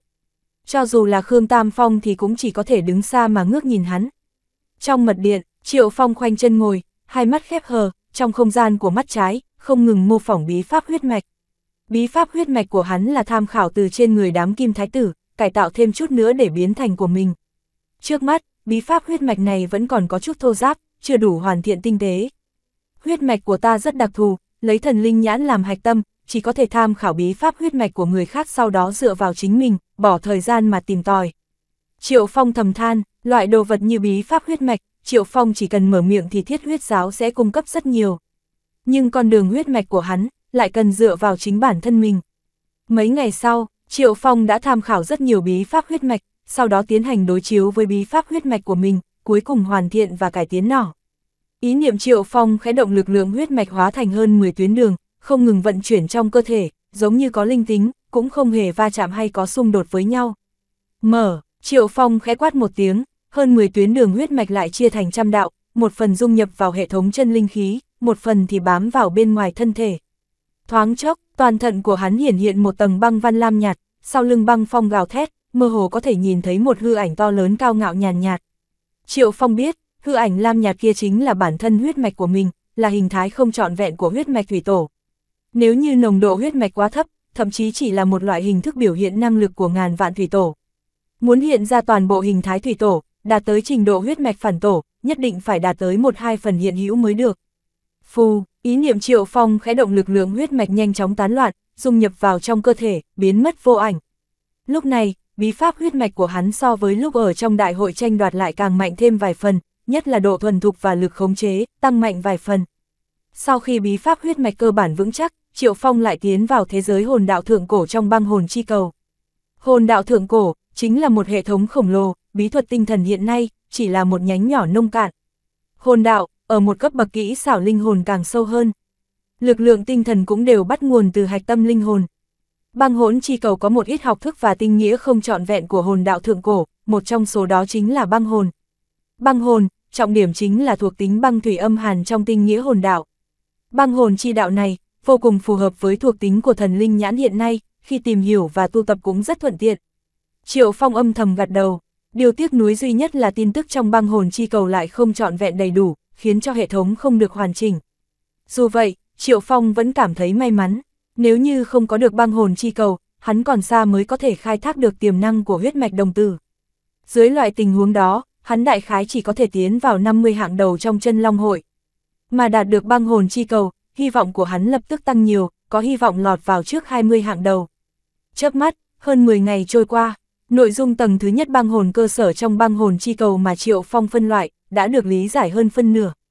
Tầng thứ hai băng hồn chi lực, tinh nghĩa cao thâm, muốn tìm hiểu thì có chút khó khăn. Chẳng qua, một lòng theo dõi tìm hiểu hồn đạo cũng khiến cho cảnh giới tinh thần của Triệu Phong đột nhiên tăng mạnh. Không gian trong mắt trái, hàn đàm lam nhạt đã kéo dài hơn cả thước, đoán chừng, khi vượt qua một trượng cảnh giới tinh thần của Triệu Phong có thể sánh ngang với chân huyền cấp. Dưới chân huyền cấp, e rằng không có người nào có thể ngăn cản một cái liếc mắt của ta, cho dù một vài chân huyền cấp bình thường cũng vậy. Trong lòng Triệu Phong rất tự tin, cảnh giới tinh thần của hắn đã đạt tới chân nhân cấp đỉnh phong. Thế nhưng tinh thần nguyên của hắn còn mạnh hơn người cùng cấp vài lần, thậm chí vẫn còn một lượng lớn vẫn không thể sử dụng. Phát động thần linh nhãn, chân huyền cấp bình thường nếu như ý chí tinh thần không đủ mạnh, hoặc bị Triệu Phong nắm được sơ hở, rất có khả năng sẽ bị khống chế. Một ngày nọ, Triệu Phong cuối cùng cũng xuất quan, cách thời gian xuất phát vẫn còn hai ngày. Hắn nhớ lại một chuyện khác, đó chính là nhiệm vụ mà mình đã ủy thác cho Thiết Càn Đại Sư. Đa chủ, đây là vũ khí mà Thiết Càn Đại Sư đã luyện chế cho ngài. Điệp Diệp lấy ra một cái dương kim loại màu đen, trong quá trình Triệu Phong mở dương kim loại ra, chỉ cảm thấy bên trong có một tia hàn ý tiết ra ngoài. Khoảnh khắc mở dương kim loại ra, ánh sáng thanh lam đột nhiên chiếu rọi, hoa mắt người nhìn. Triệu Phong lấy ra một cây bảo cung toàn thân màu tinh lam, hình dạng giống với la hầu cung ban đầu, nhưng lại hơn một chút. Dây cung của bảo cung nổi lên lôi quang nhân nhạt, sản sinh cộng hưởng với chân linh khí trong cơ thể Triệu Phong. Vù vù vù, ba mũi tên màu ám bạc giống như thiểm điện, trở về vị trí cũ. Thân cung thuộc tính băng phù hợp với huyết mạch của ta. Dây cung thuộc tính lôi, tương ứng với điện chi truyền thừa của ta. Ba mũi tên này cực kỳ sắc bén, lực xuyên thấu rất mạnh, truyền dẫn năng lượng rất tốt. Ánh mắt Triệu Phong vừa quét qua, liền cho ra kết luận. La Hầu cung tiễn mới, đẳng cấp của cung và tiễn đều tiếp cận linh cấp. Điểm này rất phi diệu, khiến Triệu Phong gật đầu tán thưởng. Cường giả chân nhân cấp, sử dụng vũ khí linh cấp hạ phẩm rất tiện tay, nếu như sử dụng vũ khí linh cấp trung phẩm thì sẽ tiêu hao rất lớn, có chút miễn cưỡng. Chỉ có chân huyền cấp mới có thể phát huy được vũ khí linh cấp trung phẩm với uy lực lớn nhất. Thủy Nguyệt Tiên đào phiến, âm ảnh phi phong chính là vũ khí đặc thù, thuộc loại bảo vật truyền thừa, phối hợp với công pháp độc môn hoặc lực lượng huyết mạch, có thể phát huy như ý. Còn một điều nữa, La Hầu Cung Tiễn mới là một loại vũ khí kết hợp. Một khi sử dụng sẽ tương đương với việc đồng thời phát động hai kiện thần binh linh cấp, tiêu hao càng khủng bố hơn. Vi diệu nhất chính là phẩm cấp của cung và tiễn đều tiếp cận linh cấp, nhưng lại không đạt đến linh cấp. Hai vũ khí này phối hợp với nhau, uy lực còn hơn cả linh cấp trung phẩm. Trước khi đạt tới chân chủ cấp, sử dụng rất phù hợp. Triệu Phong nhẹ nhàng chạm vào bộ vũ khí này, la hầu cung thoáng run rẩy, mặt ngoài nổi lên từng tia băng văn màu xanh ra trời mức độ ăn ý so với trước kia cũng không giảm đi chút nào. Đến lúc này, tại phương vũ khí, Triệu Phong hoàn thiện xong trước khi tiến đến thánh vực chân Long Hội. chương 336, Tử vong Minh Đồng, chỉ còn hai ngày trước khi xuất phát, bốn đại thiên tài của thiết huyết giáo tham gia chân Long Hội. Đều đã chuẩn bị kỹ, mấy người Khương Tam Phong thấy Triệu Phong xuất quan, đồng thời đến lãnh giáo đôi chút. Mấy ngày trước, ba người Khương Tam Phong, Điệp Diệp, Đồng Tuyết đều luận bàn với nhau, nhưng vẫn không có cơ hội giao thủ với thiên tài đỉnh phong của Bắc Đại Lục. Được, Triệu Phong gật đầu đáp ứng, dò xét ba người. Tu vi của ba người cũng không biến hóa bao nhiêu, sau khi tấn chức chân linh cảnh, mỗi lần tu vi tinh tiến đều dị thường khó khăn. Độ khó về sau sẽ ngày càng gia tăng. Giai đoạn cùng tuổi, kém một cảnh giới, ví dụ như chân nhân cấp và chân huyền cấp, như vậy thì tốc độ tu luyện kém đến mức phải dùng bội số mà tính toán. Kể cả bản thân Triệu Phong mặc dù tu vi có tinh tiến, thế nhưng vẫn còn một đoạn khoảng cách nữa mới tấn thăng đến chân nhân cấp đại thành. Dù sao, huyết mạch đồng tử của hắn cũng không trợ giúp cho việc tu luyện quá nhiều, chủ yếu là thể hiện tại phương diện học tập lĩnh ngộ. Người đầu tiên luận bàn là đồng tuyết, tu vi chân nhãn cấp tiểu thành. Luận thực lực, trong bốn người thì đồng tuyết là thấp nhất. Xin triệu đà chủ hạ thủ lưu tình, đồng tuyết nhu thuận cung kính, triệu phong đã đáp ứng ba người, trong quá trình luận bàn sẽ không sử dụng huyết mạch đồng tử. Đồng tuyết tu luyện băng ngọc quyết, chính là công pháp thuộc tính hàn băng khi công kích xuất thủ, gió lạnh gào thét, xuất hiện một tầng xương mù lam băng nhàn nhạt, nhạt, chập trần quanh người, thỉnh thoảng thúc giục một đoàn băng phong cuồng bạo phóng tới Triệu Phong. Triệu Phong cũng không khinh thị, thuộc tính công pháp của đối phương và thuộc tính huyết mạch của mình cũng khá tương đồng. Trong chiến đấu, hắn hời hợt dùng thần linh nhãn quan sát đặc điểm của loại công pháp hàn băng này. Mười mấy hiệp sau, Triệu Phong đã lĩnh ngộ sơ bộ, thân hình đột nhiên nhoáng lên một cái. Vụt vụt, hai đạo hư ảnh Triệu Phong một trái một phải, đồng thời công kích về phía đồng tuyết. Động tuyết có chút bối rối, bị một trường kèm theo điện mang đẩy lui mầy trượng thân thể mềm mại tê dại, cả buổi vẫn không nhúc nhích được. Băng ngọc quyết của ngươi, hỏa hầu công pháp không tệ, có thể hạn chế và giảm mạnh tốc độ của đối thủ cung cấp. Chẳng qua kỹ xảo chiến đấu cận chiến và tính linh hoạt của thân pháp vẫn chưa đủ. Triệu Phong bình luận, đồng tuyết thẻ lưỡi, nói, thụ giáo, luận công pháp loại hàn băng toàn đại lục này vẫn xem huyền băng cung ở cực Bắc Vi Tôn. Băng vi tiên tử của huyền băng cung trong thế hệ này, từng đạt được truyền thừa tinh túy của huyền băng truyền thừa, gần như ngạo thị đám thế hệ trẻ, lần trước tham gia chân long hội đã tiến vào ba hạng đầu. Huyền băng cung Triệu Phong cũng từng nghe qua, chính là một trong thập đại tông phái của đại lục. Huyền băng cung cắm dễ tại vùng cực Bắc rét căm căm, nổi tiếng nhất một điểm đó là lũng đoạn một trong tứ đại truyền thừa huyền băng truyền thừa. Cứ cách vài thập niên, huyền băng cung đều có một lần cơ hội mở ra huyền băng truyền thừa, mà cũng chỉ có người tu luyện loại công pháp hàn băng thì mới có thể tiến nhập. Sau đó, người luận bàn thứ hai với Triệu Phong là Điệp Diệp, tu vi của Điệp Diệp đã đạt tới chân nhân cấp đại thành, lúc tranh đoạt tại thủ đô, chỉ thiếu chút nữa đã trở thành một trong thập tinh. Triệu Phong và Điệp Diệp luận bàn gần trăm chiêu, cũng không nhìn ra khuyết điểm rõ ràng. Tốc độ thân pháp của Điệp Diệp không tệ, linh xảo 10 phần, kinh nghiệm cận thân tác chiến cùng rất thuần thục, lão luyện. Nếu như có khuyết điểm, vậy thì đó chính là lực bộc phát chưa đủ. Thế nhưng nó không liên quan tới huyết mạch truyền thừa và công pháp mà nàng tu luyện. Bởi vì bản thân nữ tử đã thiêu khuyết lực bộc phát rồi. Đây là điểm tranh lệch lớn nhất giữa Điệp Diệp và Khương Tam Phong. Cuối cùng, đến lượt Khương Tam Phong xuất tràng. Triệu Phong vẫn không sử dụng huyết mạch truyền thừa, trận chiến này đánh giá kịch liệt, lôi điện và hỏa diễm va chạm, uy thế kinh người. Trăm chiêu qua đi, điện chi lôi chảo, Triệu Phong lập lại chiêu cũ, một tay vung lên, không trung ngưng hiện một bàn tay lôi điện cao vài trường mang theo họ quang điện dày đặc chẳng chịt, phát ra âm thanh đùng đùng, giống như lôi điện chụp xuống. Một luồng uy năng lôi điện bá đạo hủy diệt trùng kích, lập tức bao phủ Khương Tam Phong điện giật tê dại khiến cho Khương Tam Phong cảm thấy áp bách sâu sắc, thậm chí không thở nổi. âm âm âm Khương Tam Phong bị điện chi lôi chảo đánh ngã ra đất, toàn thân cứng đờ tê liệt, cháy đen một mảng lớn, không khỏi lộ vẻ phiên muộn, nói. Lại là chiêu này, điện chi lôi chảo chính là một chiêu có uy lực lớn và tính thực dụng cao của Triệu Phong hiện nay, có thể vây khốn, tập trung một phạm vi nhất định, rất khó trốn thoát. Nếu như phối hợp với khả năng tập trung khóa vị trí của thần linh nhãn, đối thủ rất khó có thể tránh né được, trừ khi cảnh giới vượt qua Triệu Phong rất nhiều. Triệu Phong chỉ cười không nói, cho dù tốc độ của Khương Tam Phong có nhanh gấp đôi thì cũng khó mà tránh thoát được sự vây khốn của điện chi lôi chảo. Điện chi lôi chảo, một khi đã bao trùm một khu vực, sẽ sinh ra hiệu quả tê dại điện giật nhất định, hạn chế tốc độ và hành động của đối thủ. Hơn nữa, lúc tinh thần Triệu Phong tập trung đoán định tất cả tuyến đường của đối thủ, nếu như phối hợp với thần linh nhãn, càng có thể sớm dự đoán được động cơ của đối phương. Không đến thời gian nửa nén hương, ba người đều lần lượt thua trong tay Triệu Phong. Sau khi thua, Khương Tam Phong lại đề nghị, muốn cảm nhận huyết mạch đồng tử của Triệu Phong. Với cấp độ của các ngươi, chỉ sợ rất khó ngăn cản được huyết mạch đồng tử của ta.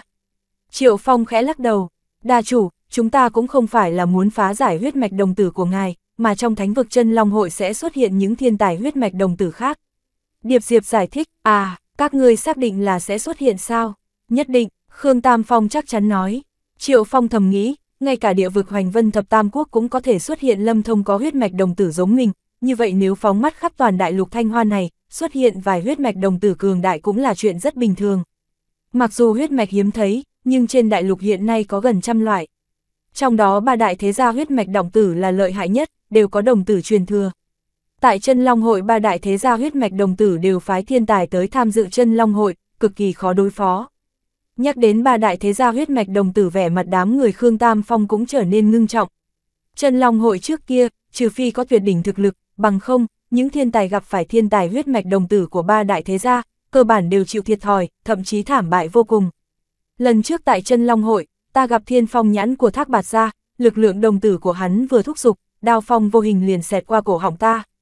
Khương Tam Phong hồi hộp nói, nếu như đó là chiến đấu sinh tử, vậy thì thiên phong nhãn của thác bạt gia vừa mở ra, có thể đã cắt đứt cổ họng của Khương Tam Phong, thậm chí xuyên thủng trái tim của hắn rồi. Triệu Phong nghe vậy, trong lòng trở nên nghiêm túc, đồng tử truyền thừa và huyết mạch cũng không phải chỉ có một mình hắn. Đồng thời, trong lòng hắn cũng vô cùng chờ mong, được nhìn thấy càng nhiều bí thuật huyết mạch đồng tử, Triệu Phong càng có cơ hội cải tiến bí thuật đồng tử của mình. Phải biết rằng thần linh nhãn của Triệu Phong sở trường học tập lĩnh ngộ, không phải là bí kỹ quá mức thâm ảo phức tạp, thì có thể phục chế được. Được rồi, vậy thì như các ngươi mong muốn. Triệu Phong đứng yên tại chỗ, mái tóc lam sắc trên đầu không gió mà động. huyễn cấm chi nhãn, thần linh nhãn của Triệu Phong mở ra, quét qua ba người. Bịch, bịch, bịch, bạ người Khương Tam Phong lần lượt ngã xuống đất, toàn thân ướt đẫm mồ hôi lạnh, gân cốt mệt mỏi, vẻ mặt hoảng sợ. Thừa nhận huyễn cấm chi nhãn một lần, có thể khiến các ngươi gia tăng khả năng chống cự đối với huyễn thuật tinh thần. Ta vẫn còn tâm linh chi nhãn, băng hồn chi mâu, theo thứ tự là điều khiển ảnh hưởng tâm linh, đông cứng ăn mòn tâm thần. Triệu Phong cười ha ha, hiện nay, bí thuật đồng tử của hắn mới thành lập hệ thống. Hai ngày sau, Thiết Ma và hai vị trưởng lão mang bốn đại thiên tài cùng lúc xuất phát. Kim qua huyết long kiệu ở phía trước mở đường, tốc độ vượt qua cao nhân chân huyền cấp. Lần này mục tiêu là Bắc Tinh Đài, chẳng qua, thiên bồng đại quốc là một chỉnh thể lớn, bên trong đại quốc có rất nhiều thiên tài chân long hội tụ, cùng xuất phát. Phó giáo chủ nói, thiên bồng hoàng thất, tại một quảng trường, những người hàng đầu của thập tinh đại quốc như Kim Thái Tử, Thiên Vân Chi đều lục tục trình diện. Ngoài ra, các nhóm thế lực như Hoàng Thất, Thiết Huyết Giáo đều có mấy danh ngạch dự định, ví dụ như Điệp Diệp, Đông Tuyết. Bề ngoài, đại quốc có 10 danh ngạch, nhưng thực tế, có đến 16 cái danh ngạch. Những thiên tài đại biểu ở đây, lấy Kim Thái Tử là người lĩnh quân. Kim Thái Tử đứng ở vị trí đầu tiên, rất hăng hái, cho đến khi nhìn thấy Triệu Phong đến thì vẻ mặt mới có chút tối tăm phiền muộn. Triệu Phong đến, khiến cho rất nhiều thiên tài đều nhìn hắn với ánh mắt kiêng kỵ sợ hãi. Hắn cũng không phát hiện, chỉ một mực nhắm mắt tham ngộ. Hiện nay, băng hồn chi cầu mà hắn tìm hiểu đã có chút trụ cột nhất định. Tiếp đó, hắn thử lĩnh ngộ minh đồng tàn thiên, đây chính là một bí pháp đồng tử không trọn vẹn. Minh đồng tàn thiên và băng hồn chi cầu đều là những thứ mà lão giả tóc đỏ mày rậm đã đưa cho Triệu Phong. Trong đó, Minh động tàn thiên là một loại công pháp đồng tử chuyển tấn công, hơn nữa còn là công pháp cấm kỵ. Tâm thần Triệu Phong rất nhanh tiến vào thế giới công pháp Minh đồng tàn thiên. Cho đến khi thiên tài khắp đại quốc đồng loạt xuất phát, Triệu Phong vẫn không mở mắt.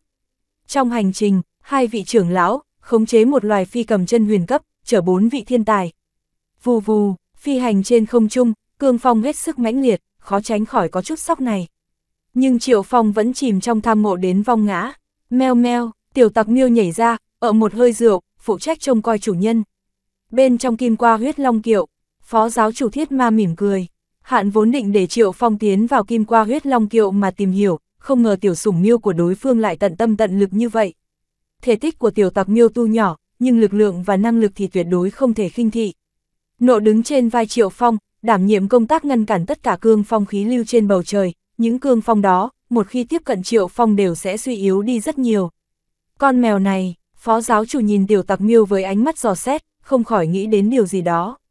Linh sủng loại mèo, hắn đã gặp qua rất nhiều, nhưng chính thức thần bí và kỳ lạ thì chỉ nhìn thấy hai lần một là con trước mắt, còn con khác chính là ở lục vu tháp.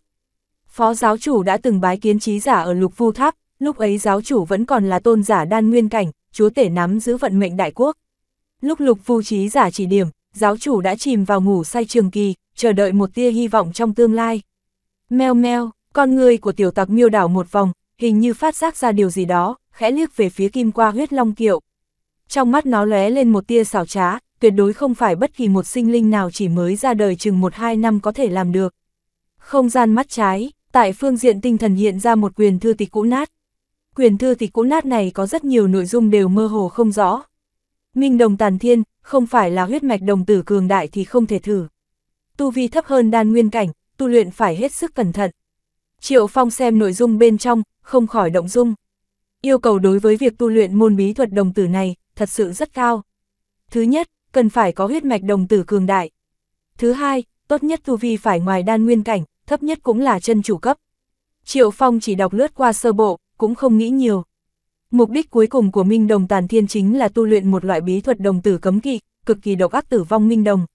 chương 337, Bắc Tinh Đài, tử vong Minh Đồng, đây là một môn công pháp cấm kỵ, muốn đạt tới cảnh giới trung cực, tức là ý chí đại biểu cho tử vong. Một khi tu thành tử vong Minh Đồng Minh Đồng ngưng mắt liếc nhìn một cái, bất luận linh hồn sinh linh nào cũng không có chỗ lẩn trốn, bị cưỡng ép thu lấy. Cho dù không thể quyết định sinh của người khác, nhưng có thể nắm giữ tử của họ. Triệu Phong đọc lượt qua, thế giới nhận thức quan lại lần nữa bị phá vỡ. Bản chất của tử vong minh đồng chính là tìm hiểu và khống chế áo nghĩa tử vong. Sinh hoặc tử, đây là loại pháp tắc thâm ảo mà thế gian không thể khống chế. Trên đại lục này, đến bây giờ còn chưa nghe qua có người nào có thể hiểu thấu đáo sinh tử, có thể vĩnh sinh bất tử. Mạnh như tôn giả đan nguyên cảnh cũng không sống quá mấy trăm năm, không qua được ngàn năm thọ mệnh, không thể hiểu thấu đáo được sinh mệnh. vương giả hư thần cảnh, vẫn không thể phá vỡ gông cùng xiềng xích sinh tử. Trên hư thần cảnh còn có huyền quang cảnh và thiên giai thần vị trong truyền thuyết. Thiên giai thần vị, nghe nói là cấp độ thiên nhân, thần linh. Có lẽ chỉ có cấp độ như vậy mới có thể bất hủ bất diệt. Ý chí đại biểu cho tử vong tử vong minh đồng này chẳng lẽ là đầm rồng hang hồ. Triệu Phong không khỏi lắc đầu, cảm thấy không thực tế. Ít nhất, quyển sách này chẳng qua chỉ là một tàn thiên, hơn nữa còn cũ nát vô cùng. Dựa theo những gì thuật lại trên đó, minh đồng tàn thiên có đến 9 tàn thiên, xác nhập làm một thì mới có thể tu luyện thành tử vong minh đồng trung cực. Với cấp độ của Triệu Phong hiện nay, tìm hiểu nội dung trong minh đồng tàn thiên vẫn cảm thấy thâm ảo tối nghĩa. Trong đó có rất nhiều thuật ngữ vô cùng cổ xưa, nếu như Triệu Phong không bước vào đại môn hồn đạo thượng cổ, e rằng ngay cả da lông bên ngoài cũng không chạm tới được. Trong thời gian ngắn, mặc dù Triệu Phong không thể nào tu luyện minh đồng tàn thiên, nhưng lại có thể mở rộng tầm mắt một cách sâu sắc. Rất nhiều bí thuật đồng tử cấm kỵ trong minh đồng tàn thiên, được xưng là minh đồng bí thuật. Trong đó, một vài minh đồng bí thuật có thể hủ hóa tâm thần, linh hồn đối phương, một khi ở chúng thuật này, y thuật trên thế gian khó có thể chữa trị được, chỉ có thể trơ mắt nhìn bản thân rơi vào tử vong. Còn có một số minh đồng bí thuật có thể thu tập hồn phách của người chết, hội tụ lực lượng tử hồn, giết người vô hình. Bí thuật cấp độ cao một chút, thậm chí có thể thông qua minh đồng gieo xuống một lời nguyền rủa độc ác đáng sợ lên người địch nhân. Lúc trước Triệu Phong đã từng tiếp xúc với bách phần cấm địa. Nơi đó có lực lượng nguyền rủa rất cường đại, ngay cả cao nhân chân linh cảnh bước vào cũng khó tránh khỏi một kiếp. Cho đến nay, chỉ có xích nguyệt giáo chủ là từ trong đó bình yên trở ra. Tóm lại, bí pháp đồng tử trong minh đồng tàn thiên, có rất nhiều thủ đoạn giết người vô hình, độc ác tàn nhẫn, khiến cho người khác không rét mà run. Đường xá xa xôi, thời gian chậm rãi trôi qua, Triệu Phong đọc lướt qua minh đồng tàn thiên, mặc dù không bước vào con đường này, nhưng cũng lĩnh ngộ được đôi chút, trở nên suy tư. Tham khảo một ít nguyên lý bí thuật bên trong minh đồng tàn thiên, Triệu Phong lại tiên thêm một bước hoàn thiện tăng cường uy lực huyết mạch đồng tử của mình. Giai đoạn hiện nay, hai hạch tâm chính của hắn vẫn là điện chi truyền thừa và hồn đạo thượng cổ trong băng hồn chi cầu. Một thế giới vật chất, một thế giới tinh thần, cả hai sát nhập, thôn tính lẫn nhau, như vậy Triệu Phong mới càng có đủ nội tình và vốn liêng thâm hậu. Chớp mắt, gần hai tháng trôi qua, một ngày nọ, Triệu Phong chậm rãi mở mắt ra, thần thái có chút mệt mỏi. Nhưng lúc hắn mở mắt ra, trong mắt có một loại áp bách tinh thần càng mạnh hơn. Thông qua gần hai tháng tìm hiểu, hai hạch tâm chính của Triệu Phong đều có bước tiến bộ nhảy vọt. Tầng thứ hai băng hồn chi lực của băng hồn chi cầu, khiến cho cảnh giới tinh thần của Triệu Phong từng ngày đề cao, cơ bản không thua gì chân huyền cấp. Điện chi truyền thừa tầng thứ hai, tu luyện cảm ngộ của Triệu Phong dần dần đạt tới cảnh giới hỏa hầu đại thành. Lúc này, điện ấn tinh thần giữa mi tâm Triệu Phong hình dáng dần lộ rõ, cho dù không sử dụng lực lượng điện chi truyền thừa, cũng có thể nhìn thấy rõ. Meo meo, tiểu tặc miêu ngáp một cái, đôi mắt có chút lờ đờ buồn ngủ. Ừm, cực khổ cho ngươi rồi. Triệu Phong bỏ tiểu tặc miêu vào túi linh sùng. Chẳng qua, khi hắn kiểm tra chữ vật giới chỉ và chữ vật thủ trạc trong tay thì lập tức biến sắc. Con tặc miêu trời đánh, hàng lông mày của Triệu Phong nhướng lên, vừa tức vừa giận. Điện ấn tinh thần giữa chán hắn ẩn ẩn hiện hiện, nguyên khí lôi điện bốn phía kịch liệt dị thường, liên tục truyền đến âm thanh điện minh. Trong không gian chữ vật, tổn thất quá nửa tài nguyên và nguyên tinh thạch. Không cần hỏi cũng biết, đây khẳng định là bị tiểu tặc miêu ăn hết. Tiểu tặc miêu sẽ không bao giờ làm việc không công, nó thay triệu phong hộ pháp gần 2 tháng, triệt tiêu cương phong khí lưu trên trời, tất nhiên phải thu hồi một ít phí dịch vụ. Khí tức lôi điện thật mạnh, đội ngũ đại biểu cho thiên bồng đại quốc đều đồng loạt sinh ra cảm ứng. Đặc biệt là Kim Thái Tử và đám thiên tài thập tinh đại quốc, vẻ mặt có chút run rẩy, cảm thấy áp lực càng lớn. Triệu Phong khẽ hít một hơi, thu liếm khí tức, chợt, hắn kéo tiểu tặc miêu từ trong túi linh sủng ra. Tiểu tặc miêu bày ra bộ dạng đáng thương, hai chảo vung vẩy, thanh minh cho bản thân. Cái gì, ngươi đang ở thời kỳ trường thành, cần tài nguyên và tinh thạch để bổ sung dinh dưỡng. Trên mặt Triệu Phong lộ vẻ nghi vấn, nhìn dò xét tiểu tặc miêu từ trên xuống dưới. Ăn hết một đống nguyên tinh thạch trồng chất như núi của mình, vậy mà cũng không thấy nó phát triển thêm chút nào. Meo meo, tiểu tặc miêu lại một phen khoa tay múa chân, tỏ vẻ sẽ giúp đỡ Triệu Phong một tay, lúc đến thánh vực chân long hội. Ăn hết nhiều tài nguyên của ta như vậy, người có năng lực gì mới không? Tiểu tặc nghiêu, Triệu Phong lắc đầu, càng ngày càng thất vọng với con mèo này. Đúng lúc đó, thần linh nhãn của Triệu Phong chợt sinh ra cảm ứng, nhìn về phía xa. Khu vực phía xa có một điểm ánh sáng màu trắng, phát ra chấn động kỳ dị, cách xa cả ngàn dặm. Điểm sáng kia càng lúc càng gần, cuối cũng đã tới Bắc Tinh Đài rồi. Trong đội ngũ của thiên bồng đại quốc chợt truyền đến từng tràng kinh hô. Điểm sáng kia là một bệ đá bạch tinh lập lòe, phương viên lớn chừng 10 dặm. Trung tâm bệ đá có một cánh cửa đá đen nhánh, phong cách cổ xưa. Bệ đá bạch tinh này và cánh cửa đen nhánh phong cách cổ xưa, xuất hiện tại sa mạc trống trải, có chút đột ngột. Phiến sa mạc này, quanh năm có bão cát khủng bố, đủ để nuốt chừng nhân loại dưới chân linh cảnh. Trên bầu trời và mặt đất có yêu cầm tẩu thú cường đại, chân nhân cấp đích thân tới đây cũng khó bảo toàn được mạng sống. Đây là Bắc Tinh Đài, thần linh nhãn của Triệu Phong quét qua, cảm thấy chất liệu trận pháp ở đây đã hoàn toàn vượt qua nhận thức của bản thân. Bố cục này, khiến hắn đột nhiên nghĩ tới bệ đá trung tâm ở bách phần cấm địa. Lúc thiên bồng đại quốc đến đây, trên Bắc Tinh Đài đã có không ít người. Tử tấn đại quốc và xích tiêu đại quốc đều đã đến rồi. Ánh mắt kim thái tử đảo qua đám người. Giờ phút này, đám người trên Bắc Tinh Đài đều đứng ở trận doanh của mình. Bắc Đại Lục, thiên tài của ba đại quốc, đều tề tụ tại một đài. Mặt khác, còn có rất nhiều cường quốc, đại tông phái và thế gia cổ xưa. Trên Bắc Đại Lục, số lượng của cường quốc, e rằng có đến gần trăm. Nhưng mỗi cường quốc đều chỉ có hai danh ngạch, nếu so sánh thì ba đại quốc của Bắc Đại Lục mới được gọi là quốc gia khổng lồ. Không ít cường quốc đều phụ thuộc vào ba đại quốc này. Ví dụ như lúc thiên bồng đại quốc đến đây, rất nhanh có nhân mã của mấy cường quốc khác tới tập kết. Ba đại quốc, theo thứ tự là Tử Tấn Đại Quốc, Xích Tiêu Đại Quốc, Thiên Bồng Đại Quốc. Triệu Phong quan sát liền phát hiện ra, ba đại quốc này mơ hồ bao quát một nửa thế lực của Bắc Đại Lục. Dù sao, trong một đại quốc cũng có không ít tông phái, đại tộc, trong đó cũng không thiếu danh ngạch dự định của mình. Hi hi, Tiểu Kim Chư, chúng ta lại gặp mặt rồi. Một thanh âm nữ tử trêu chọc, truyền đến từ phía tử tấn đại quốc. Người lính quân đám thiên tài của tử tấn đại quốc, là một thiếu nữ tóc tím oai hùng hiên ngang thân mặc chiến bảo phượng văn. Tiểu Kim Chu, Triệu Phong phát hiện, nữ tử mặc chiến bảo Phượng Văn đang nhìn về phía thiên bồng đại quốc. Lang Nguyệt công chúa này, Kim Thái tử nghiến răng nghiến lợi, nhưng lại có chút đau đầu và bất đắc dĩ. Khương Tam Phong cố nén vui mừng, thấp giọng nói, Tiểu Kim Chư chính là ngoại hiệu mà Lăng Nguyệt công chúa dành cho Kim Thái tử. Hai lần Kim Thái tử luận bàn đều hoàn toàn thất bại trước Lăng Nguyệt công chúa. Thì ra, vị Lăng Nguyệt công chúa này chính là công chúa của Tử Tấn Đại Quốc, đồng thời cũng là thiên tài có huyết mạch mạnh nhất Tử Tấn Đại Quốc. Thực lực của Lăng Nguyệt công chúa này, trong toàn bộ Bắc Đại Lục cũng có chút danh tiếng, trước đây từng liên tục đánh bại hai vị cao nhân chân huyền cấp. Lần chân long hội trước, Lăng Nguyệt công chúa này đã tiến vào 100 hạng đầu thiên tài chân long, lần này, thực lực và huyết mạch đều tiến một bước lớn. Đội ngũ khắp nơi trên Bắc Đại Lục đều thấp giọng nghị luật, hoặc giúp nhau tìm hiểu. Lăng Nguyệt công chúa đột nhiên chậm rãi đi về phía Thiên Bồng Đại Quốc.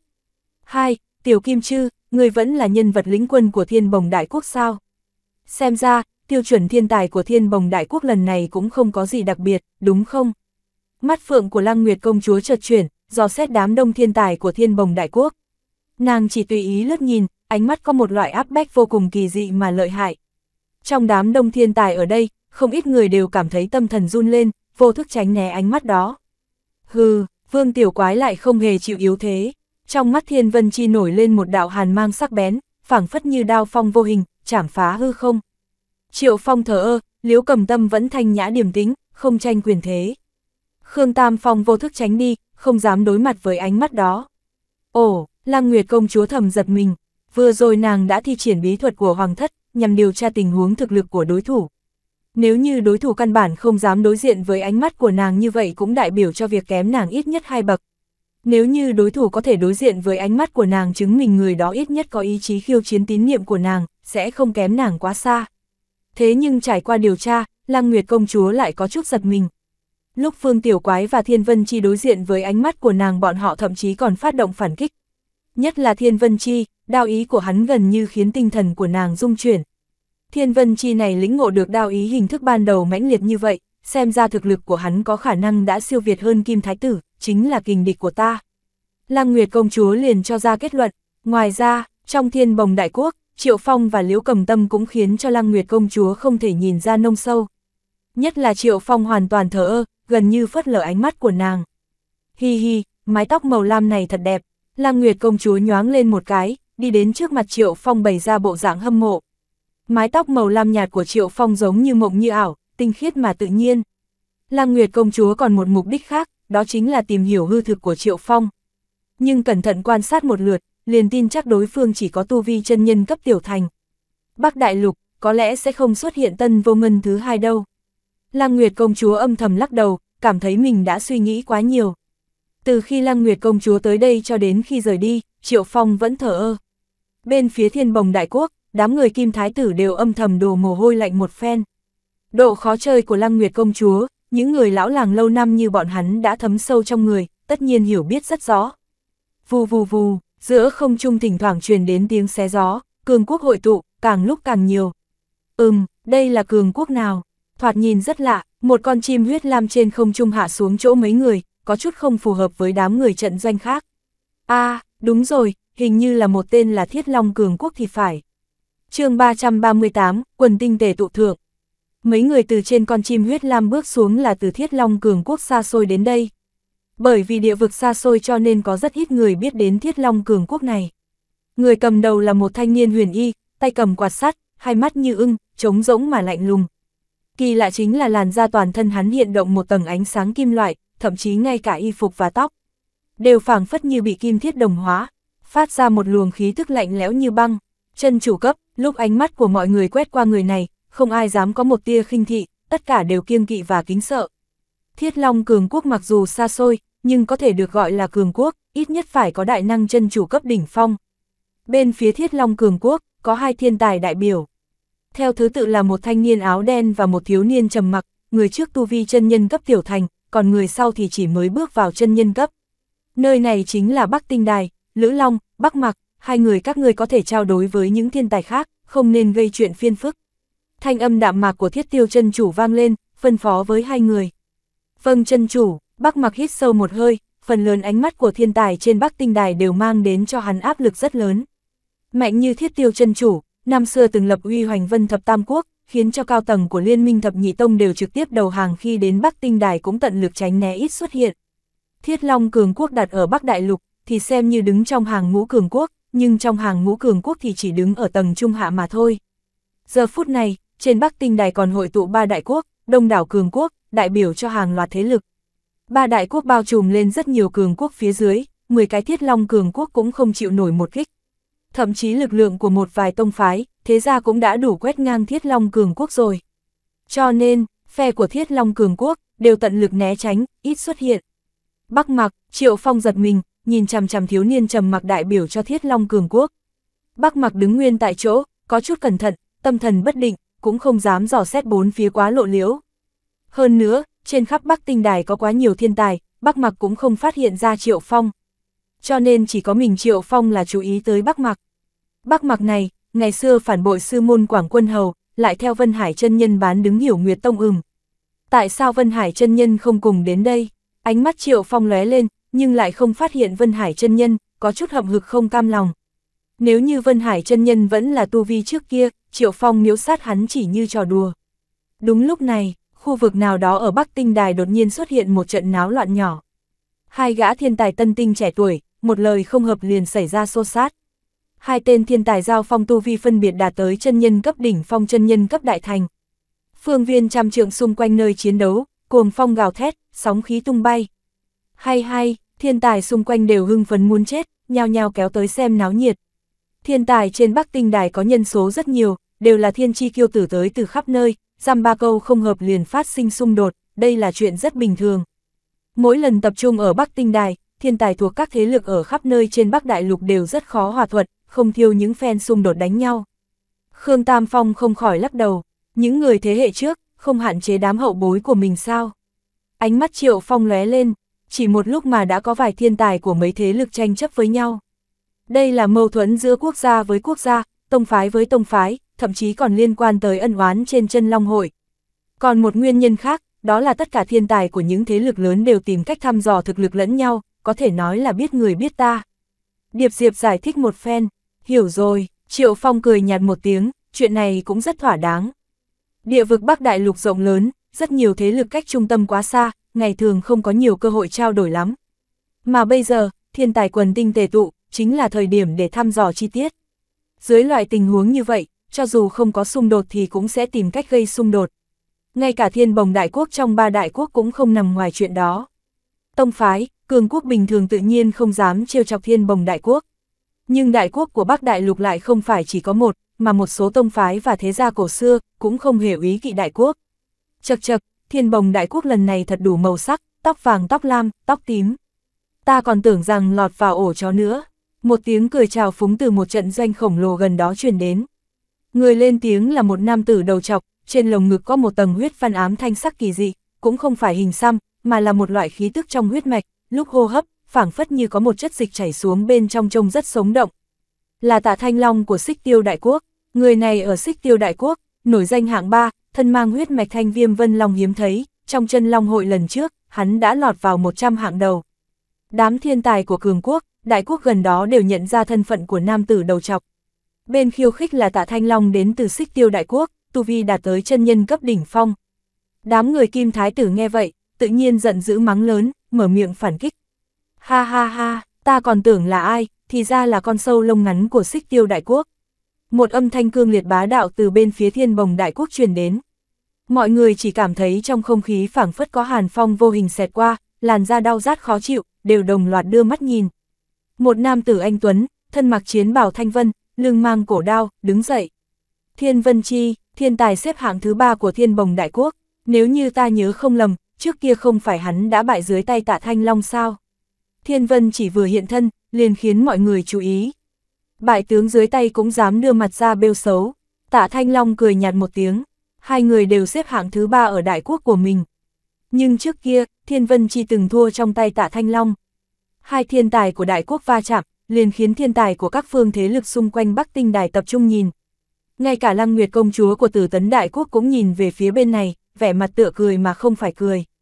Thanh Dương Liệt Long, hai tay tạ thanh long chấn động huyết văn ám thanh sắc trên lồng ngực chảy xuôi rất sống động hình thành từng đạo lửa xanh hình long xà rực rỡ. Oanh, tạ thanh long nâng trưởng, ngọn lửa xanh hình long xà phát ra ánh sáng rực rỡ, khí thế càn quét khắp nơi, nhiệt độ nháy mắt dâng cao, như muốn nuốt chừng phương viên 10 trượng xung quanh thiên vân chi. Bí thuật huyết mạch thật mạnh, đây chính là thực lực của 100 hạng đầu trong chân long hội lần trước sao. Uy năng mà tạ thanh long thể hiện ra, khiến không ít thiên tài lần đầu tiên tham gia chân long hội đều kinh hãi lạnh người. Lực lượng viêm liệt hình dạng long xà đủ thiêu đốt chân nhân cấp bình thường thành cho bụi. Bên phía thiết long cường quốc, đây chính là thiên tài hàng đầu của Bắc Đại Lục sao. Bắc mặc hít sâu một hơi, bí pháp huyết mạch của tạ Thanh Long và minh thủy truyền thừa của hắn khắc chế lẫn nhau. Lúc này, hắn cảm nhận được huyết nhục và chân linh khí run rẩy. Nếu như chính thức chiến đấu, bản thân mình e rằng không tiếp được mây chiêu của tạ Thanh Long. Thiên vân bạt đao thuật, phành, thanh long cổ đao xuất ra khỏi vỏ, một đạo đao mang sắc bén như cầu vống, dài đến vài chục trượng chém tan ngọn lửa xanh hình rồng đang gào thét giận dữ. Cùng lúc đó, một luồng khí tức đao ý vô hình lập tức xông thẳng lên trời, đánh thẳng vào tâm thần ý chí. Không ít thiên tài ở đây, đều cảm thấy thể xác và tinh thần rét lạnh, phảng phất như có một đao phong vô hình chém qua thân thể mình. Đao ý, đao ý hình thức ban đầu, thiên vân chỉ từ khi nào có được đao ý cường đại sắc bén như vậy. Mấy phương thế lực như Tử Tấn Đại Quốc và Cường Quốc gần đó đều đồng loạt kinh hãi động dung. Đao ý chảm phá hư không uy năng đao thế của Thiên Vân Chi bá đạo vô cùng, một đao đánh ra bức tạ thanh long lui đến một bước. Đây chỉ mới là thức thứ nhất của bạt đao thuật, tiếp đó, Thiên Vân Chi thúc dục lực lượng huyết mạch của hai tộc Thiên, Vân trên người, đao mang cầu vống nổi lên khí tức hai màu lam bạch, uy thế đủ để cắt ngang cả sông lớn. Tiểu tử này lĩnh ngộ đao ý từ khi nào, sao lại cường đại như vậy? Chỉ sau vài đao, tạ thanh long đã bại lui, trên mặt và lồng ngực đều lưu lại một đạo vết máu. Luận huyết mạch, thiên vân chi không thua kém hắn, thậm chí còn mạnh hơn, đao ý phá rồi lại lập khiến cho uy năng công kích tăng lên một trình độ mới. Ngay cả kim thái tử, lăng nguyệt công chúa cũng có chút giật mình. Thực lực mà thiên vân chi biểu hiện ra, hoàn toàn có thể lọt vào trước 100 hạng đầu tại chân long hội, thậm chí còn có thể đạt được thứ hạng rất cao. Lời đồn quả không sai sau khi hắn thua tân vô ngân, liền lĩnh ngộ được đao ý, đao ý này còn mạnh gấp đôi so với thiên tài lĩnh ngộ đao ý bình thường. Đôi mắt phượng của Lăng Nguyệt công chúa khẽ chấp, thực lực của Tân Vô Ngân, Lăng Nguyệt công chúa đã lĩnh giáo qua. Nửa năm trước đã luận bàn một lần, lúc đó Lăng Nguyệt công chúa và Tân Vô Ngân đều bất phân thắng bại. Khiến nàng tức giận nhất chính là, thiên tài thần bí thăm bất khả chắc đó, từ đầu tới cuối đều dùng một tay để đánh với nàng. Sự tích có liên quan đến Tân Vô Ngân, ở trên Bắc Đại Lục này đã trở thành chuyện trà dư tử hậu. Hắn có tư chất không cao, lại càng không có huyết mạch truyền thừa, thậm chí còn không đi theo trưởng bối sư môn học nghệ. Những thành tựu của người này đều là từng bước tụ học tập lĩnh ngộ, dung hợp với công pháp truyền thừa của nhiều nhà, sáng tạo ra con đường tu hành độc đáo của riêng mình. Âm âm âm, thân thể tạ thanh long lảo đảo, liên tục đối chiến với thiên vân chi mấy đao, rốt cuộc bại trận, thổ ra một búng máu. Đa tả, Thiên Vân Chi giành chiến thắng quay về chỗ Thiên Bồng Đại Quốc. Thiên Bồng Đại Quốc chiến thắng tự nhiên khiến Xích Tiêu Đại Quốc có chút mất mặt, lại phái ra thiên tài xếp hạng thứ hai nghênh chiến. Trong ba đại quốc, chỉnh thể thực lực của Thiên Bồng Đại Quốc cũng không yếu hơn hai đại quốc khác, nhưng thực lực thiên tài hậu bối thì lại kém xa hai đại quốc khác. Khắc khắc, Vương Tiểu Quái trà sát hai tay, hưng phấn nhảy ra, múa kim ngàn đại côn nghênh chiến với người của Xích Tiêu Đại Quốc. Thiên tài xếp hạng thứ hai của Xích Tiêu Đại Quốc, tu vi đạt tới chân nhãn cấp đỉnh phong thực lực cũng không kém hơn so với Kim Thái tử trước kia bao nhiêu. Trận chiến này, Vương Tiểu Quái đánh rất điên cuồng, huyết mạch của hắn có đặc điểm là càng bị thương nặng thì chiến lực càng mạnh, quả thật biển thái. Sau trăm chiêu, Vương Tiểu Quái bị thương không nhẹ, chiến lực đại tăng nhất cử chiến thắng đối thủ. Liên tục thua hai trận, bên phía xích tiêu đại quốc rốt cuộc cũng biến sắc. Thiên tài xếp hạng thứ hai thứ ba của thiên bồng đại quốc lần này đều mạnh như vậy, e rằng kim thái tử hạng nhất còn. Thiên tài bên phía tử tấn đại quốc và xích tiêu đại quốc đều không khỏi động dung. Trên thực tế, Triệu Phong biết rõ, thực lực của Vương Tiểu Quái và Kim Thái Tử đều sàn sàn nhau, nếu như chém giết sinh tử, Vương Tiêu Quái rất có khả năng sẽ thủ thắng. Nhưng luận công kích, chiến lực, Thiên Vân Chi, thậm chí còn siêu việt hơn Kim Thái Tử. Thiên bồng đại quốc lần này quả nhiên bất thường Kim Thái Tử hạng nhất ta còn có thể hiểu được, nhưng thực lực của tên hạng 2 và tên hạng 3 đều tăng vọt như vậy. Mắt phượng của Lăng Nguyệt công chúa khẽ lóe lên, ánh mắt lại quét về phía Triệu Phong và Liễu Cầm Tâm xếp hạng tiếp theo. Trên Bắc Tinh Đài, để tiện lợi cho việc khiêu chiến, thứ tự số ghế của thiên tài đều được an bài có chủ ý. Kha Lập, người đi dò xét thực lực của tên thiếu niên tóc lam, còn Phan Tiểu Nguyệt, người đi dò xét nữ tử Bạch Y có mỹ mạo khiến cho người khác phải đố kỵ kia đi. Lăng Nguyệt công chúa phân phó. Kha Lập, Phan Tiểu Nguyệt xếp hạng thứ tư và thứ năm tại Tử Tấn Đại Quốc, trước kia xếp hạng này ít nhất cũng tương đương với thực lực hạng 3, hạng tư của Thiên Bồng Đại. Mục tiêu mà Lăng Nguyệt công chúa muốn thăm dò chính là Triệu Phong và Liễu Cầm Tâm chương 339, quần tinh tề tụ chung. Thiên Bồng Đại Quốc và Tử Tấn Đại Quốc là hữu nghị chi bang, những hậu bối chúng ta khó có một lần tụ tập. Vừa vặn mượn cơ hội lần này tiến hành luận bàn nghiên cứu thảo luận, xúc tiến tình hữu nghị lẫn nhau. Mắt phượng của Lăng Nguyệt công chúa sáng quắc, tư thái hiên ngang. Nàng trực tiếp đưa ra đề nghị luân bàn, hết sức lưu loát không muốn gây phiền phức giống như nhóm thế lực của xích tiêu đại quốc. Kim Thái tử không khỏi giật mình, chẳng lẽ Lăng Nguyệt công chúa này muốn khiêu chiến với mình. Đối mặt với Lăng Nguyệt công chúa tu vi chân huyền cấp, hắn không hề có phần thắng. Huyết mạch của Kim Thái tử tuy mạnh, thế nhưng huyết mạch của Lăng Nguyệt công chúa chỉ mạnh hơn chứ không yếu hơn hắn, luận tu vi, Lăng Nguyệt công chúa cũng mạnh hơn hắn một cấp. Cũng may, Lăng Nguyệt công chúa không hề có ý khiêu chiến Kim Thái tử. Trong suy nghĩ của nàng Kim Thái tử không có gì đáng ngại, lại nhiều lần thất bại dưới tay mình, không đáng đánh một trận. Đối thủ chân chính của mình là Tân Vô Ngân, thậm chí là Mạc Thiên Y. Rất nhanh, bên phía tử tấn đại quốc bước ra một nam một nữ. Theo thứ tự là thiên tài xếp hạng thứ tư, thứ năm, Kha Lập và Phàn Tiểu Nguyệt. Tu vi của hai người lần lượt là chân nhân cấp đại thành và chân nhân cấp tiểu thành. Thứ hạng này vừa vặn tương ứng với thứ hạng của Triệu Phong và Liễu Cầm Tâm tại Thiên Bồng Đại Quốc. Dựa theo kinh nghiệm trước kia, dưới tình huống cùng thứ hạng thập tinh tại Thiên Bồng Đại Quốc hoàn toàn không phải là đối thủ của thập tinh tại Tử Tấn Đại Quốc. Hừm, Triệu Phong đang khoanh chân ngồi, đột nhiên cảm nhận được một luồng chiến ý đến từ phía một thanh niên mặc trường bào ngân bạch, phá đối diện. Tiểu tử tóc lam, ra đánh một trận đi. Vẻ mặt Kha Lập có chút không kiên nhẫn, cũng lười nói những câu khách sáo. Nếu như không phải theo sắp đặt của Lăng Nguyệt công chúa, hắn cũng sẽ không chú ý đến Triệu Phong. Kha Lập tự nhiên có vốn liếng để kiêu ngạo, hắn đã tham gia chân Long Hội, còn tiến vào trước 300 hạng đầu. Nửa năm trước, tại Từ Tấn Đại Quốc, hắn vượt cấp giao thủ với một tên đạo tặc chân nhân cấp đỉnh phong đuổi giết tên đạo tặc kia vạn dặm lấy thủ cấp. Từ đó về sau, uy danh của Kha Lập liền đại chấn. Hiện tại, bảo hắn khiêu chiến với một nhân vật mới tu vi thấp kém hơn mình một bậc, tự nhiên không có chút hứng thú nào. Lúc Kha Lập khiêu chiến, cũng không chú ý đến vẻ mặt của Kim Thái tử cầm đầu thập tinh thiên bồng có chút hả hê. Đám người Thiên Vân Chi và Khương Tam Phong đều có chút suy tư. Những chi tiết này đều không qua được mắt của Lăng Nguyệt công chúa, nàng chợt lộ ra một tia kinh ngạc. Bên phía Thiết Long Cường Quốc, Triệu Phong, trái tim bắc mặc đập mạnh một cái, sắc mặt đại biến, hít sâu một hơi, nhìn chằm chằm vào thiếu niên tóc lam bên phía trận doanh của Thiên Bồng Đại Quốc. Làm sao vậy? Lữ Long, một thiên tài đại biểu khác của Thiết Long Cường Quốc, phát hiện được vẻ biến hóa trên mặt Bắc Mặc. Không có gì, chỉ là nhìn thấy người quen mà thôi. Ánh mắt Bắc Mặc ngưng tụ, chú ý tình huống bên đó. Bắc Đại Lục, cấp độ của ba đại quốc thật sự vượt xa khả năng mà hai người bọn họ có thể với tới. Lúc này, tình huống bên đó cũng hấp dẫn chú ý của phần đông thiên tài tại Bắc Tinh Đài. Triệu Phong ngồi yên tại chỗ, hoàn toàn thờ ơ với việc Kha Lập vô lễ khiêu chiến. Thậm chí, ánh mắt của hắn còn quét về một nơi hẻo lánh khác. Bắc mặc sư huynh, chúng ta lại gặp mặt, tình hình của Hoành Vân Thập Tam Quốc và Hiểu Nguyệt Tông gần đây thế nào rồi? Một âm thanh lặng lẽ vang lên trong não hải của Bắc mặc.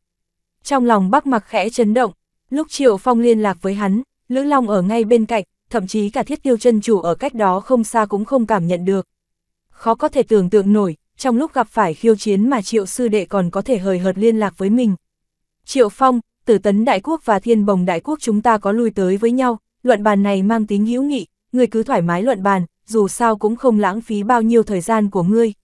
Kim Thái tử hào khí lãnh đạm, vui vẻ giảng hòa. Dù sao thì hắn cũng là người lính quân của Thiên Bồng Đại Quốc.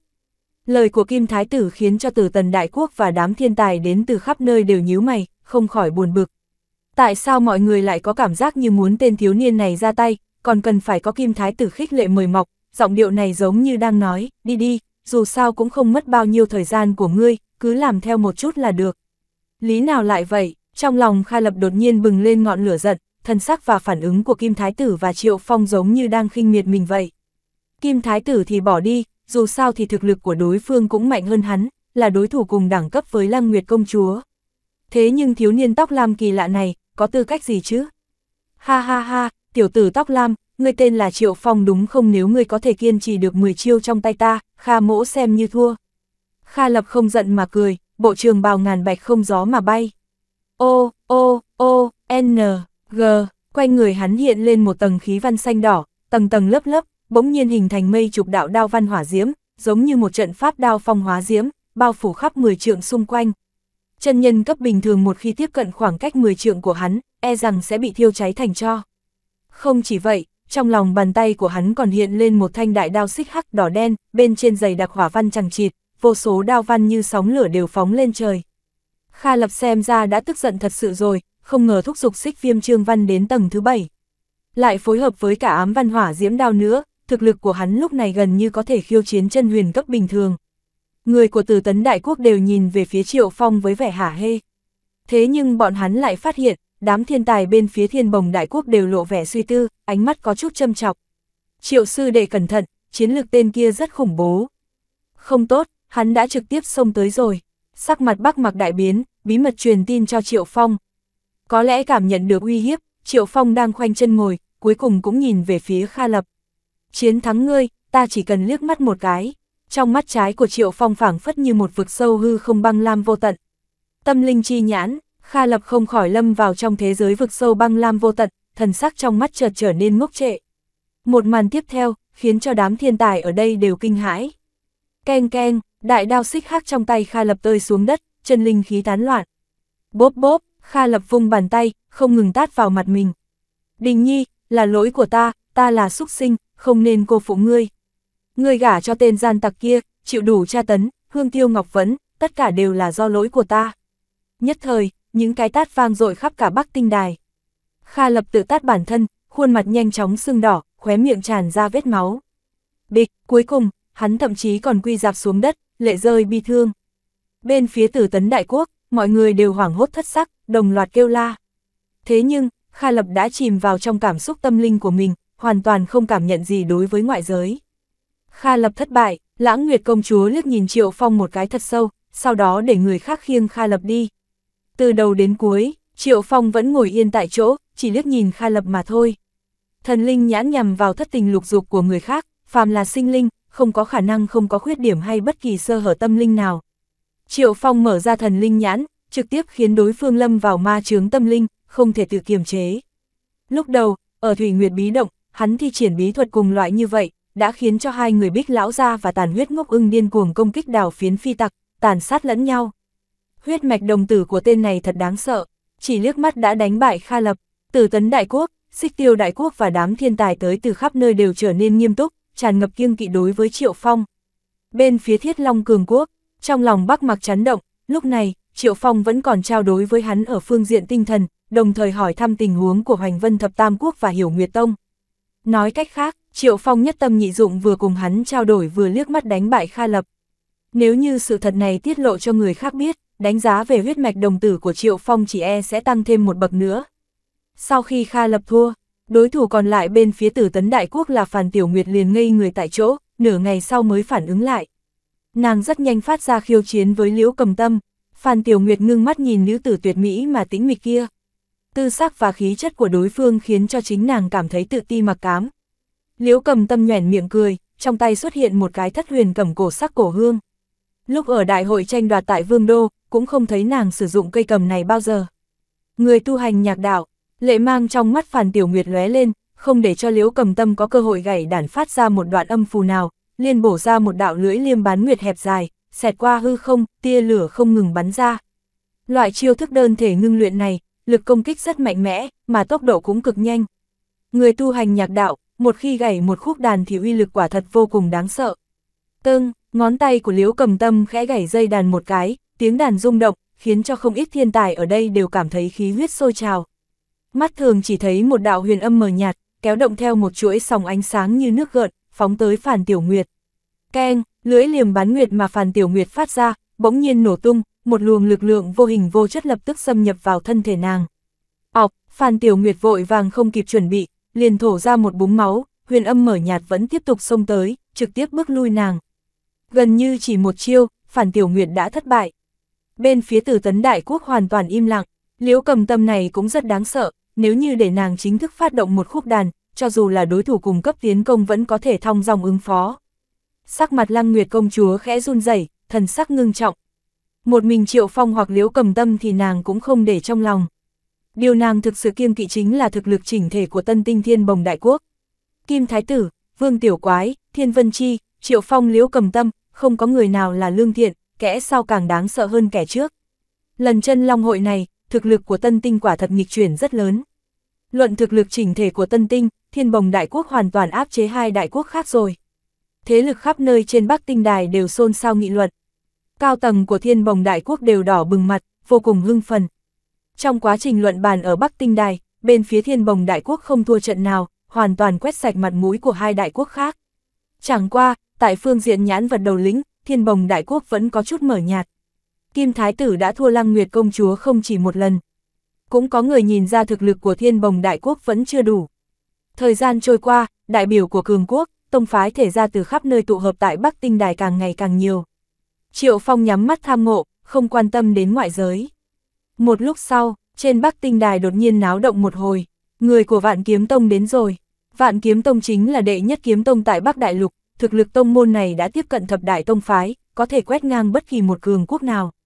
Trên bầu trời xuất hiện vài đạo thân ảnh, cầm đầu là một kiếm khách độc nhãn, tu vi đạt tới nửa bước đan nguyên cảnh, khí tức so với thái thượng trưởng lão của Hoàng thất thiên bồng còn mạnh hơn nửa phần. Lão bất tử này cũng xuất hiện rồi, vẻ mặt của phó giáo chủ thiết ma cũng khẽ động dung. Luận thực lực, vạn kiếm tông tiếp cận tông phái nhất tinh, còn mạnh hơn cả thiết huyết giáo. Thiên tài đại biểu cho vạn kiếm tông có hai người, một nam tử mặc áo bào xanh, thậm chí còn có một mái tóc trắng quỷ dị. Người còn lại là một thiếu niên, mặc tố y tuyết trắng, không nhiễm bụi trần, đôi mắt không u, thỉnh thoảng lóe lén kiềm quang hư vô sắc bén. Bắc mặc giật mình thất sắc, nhìn qua thiếu niên mặc áo tơ trắng quen thuộc kia.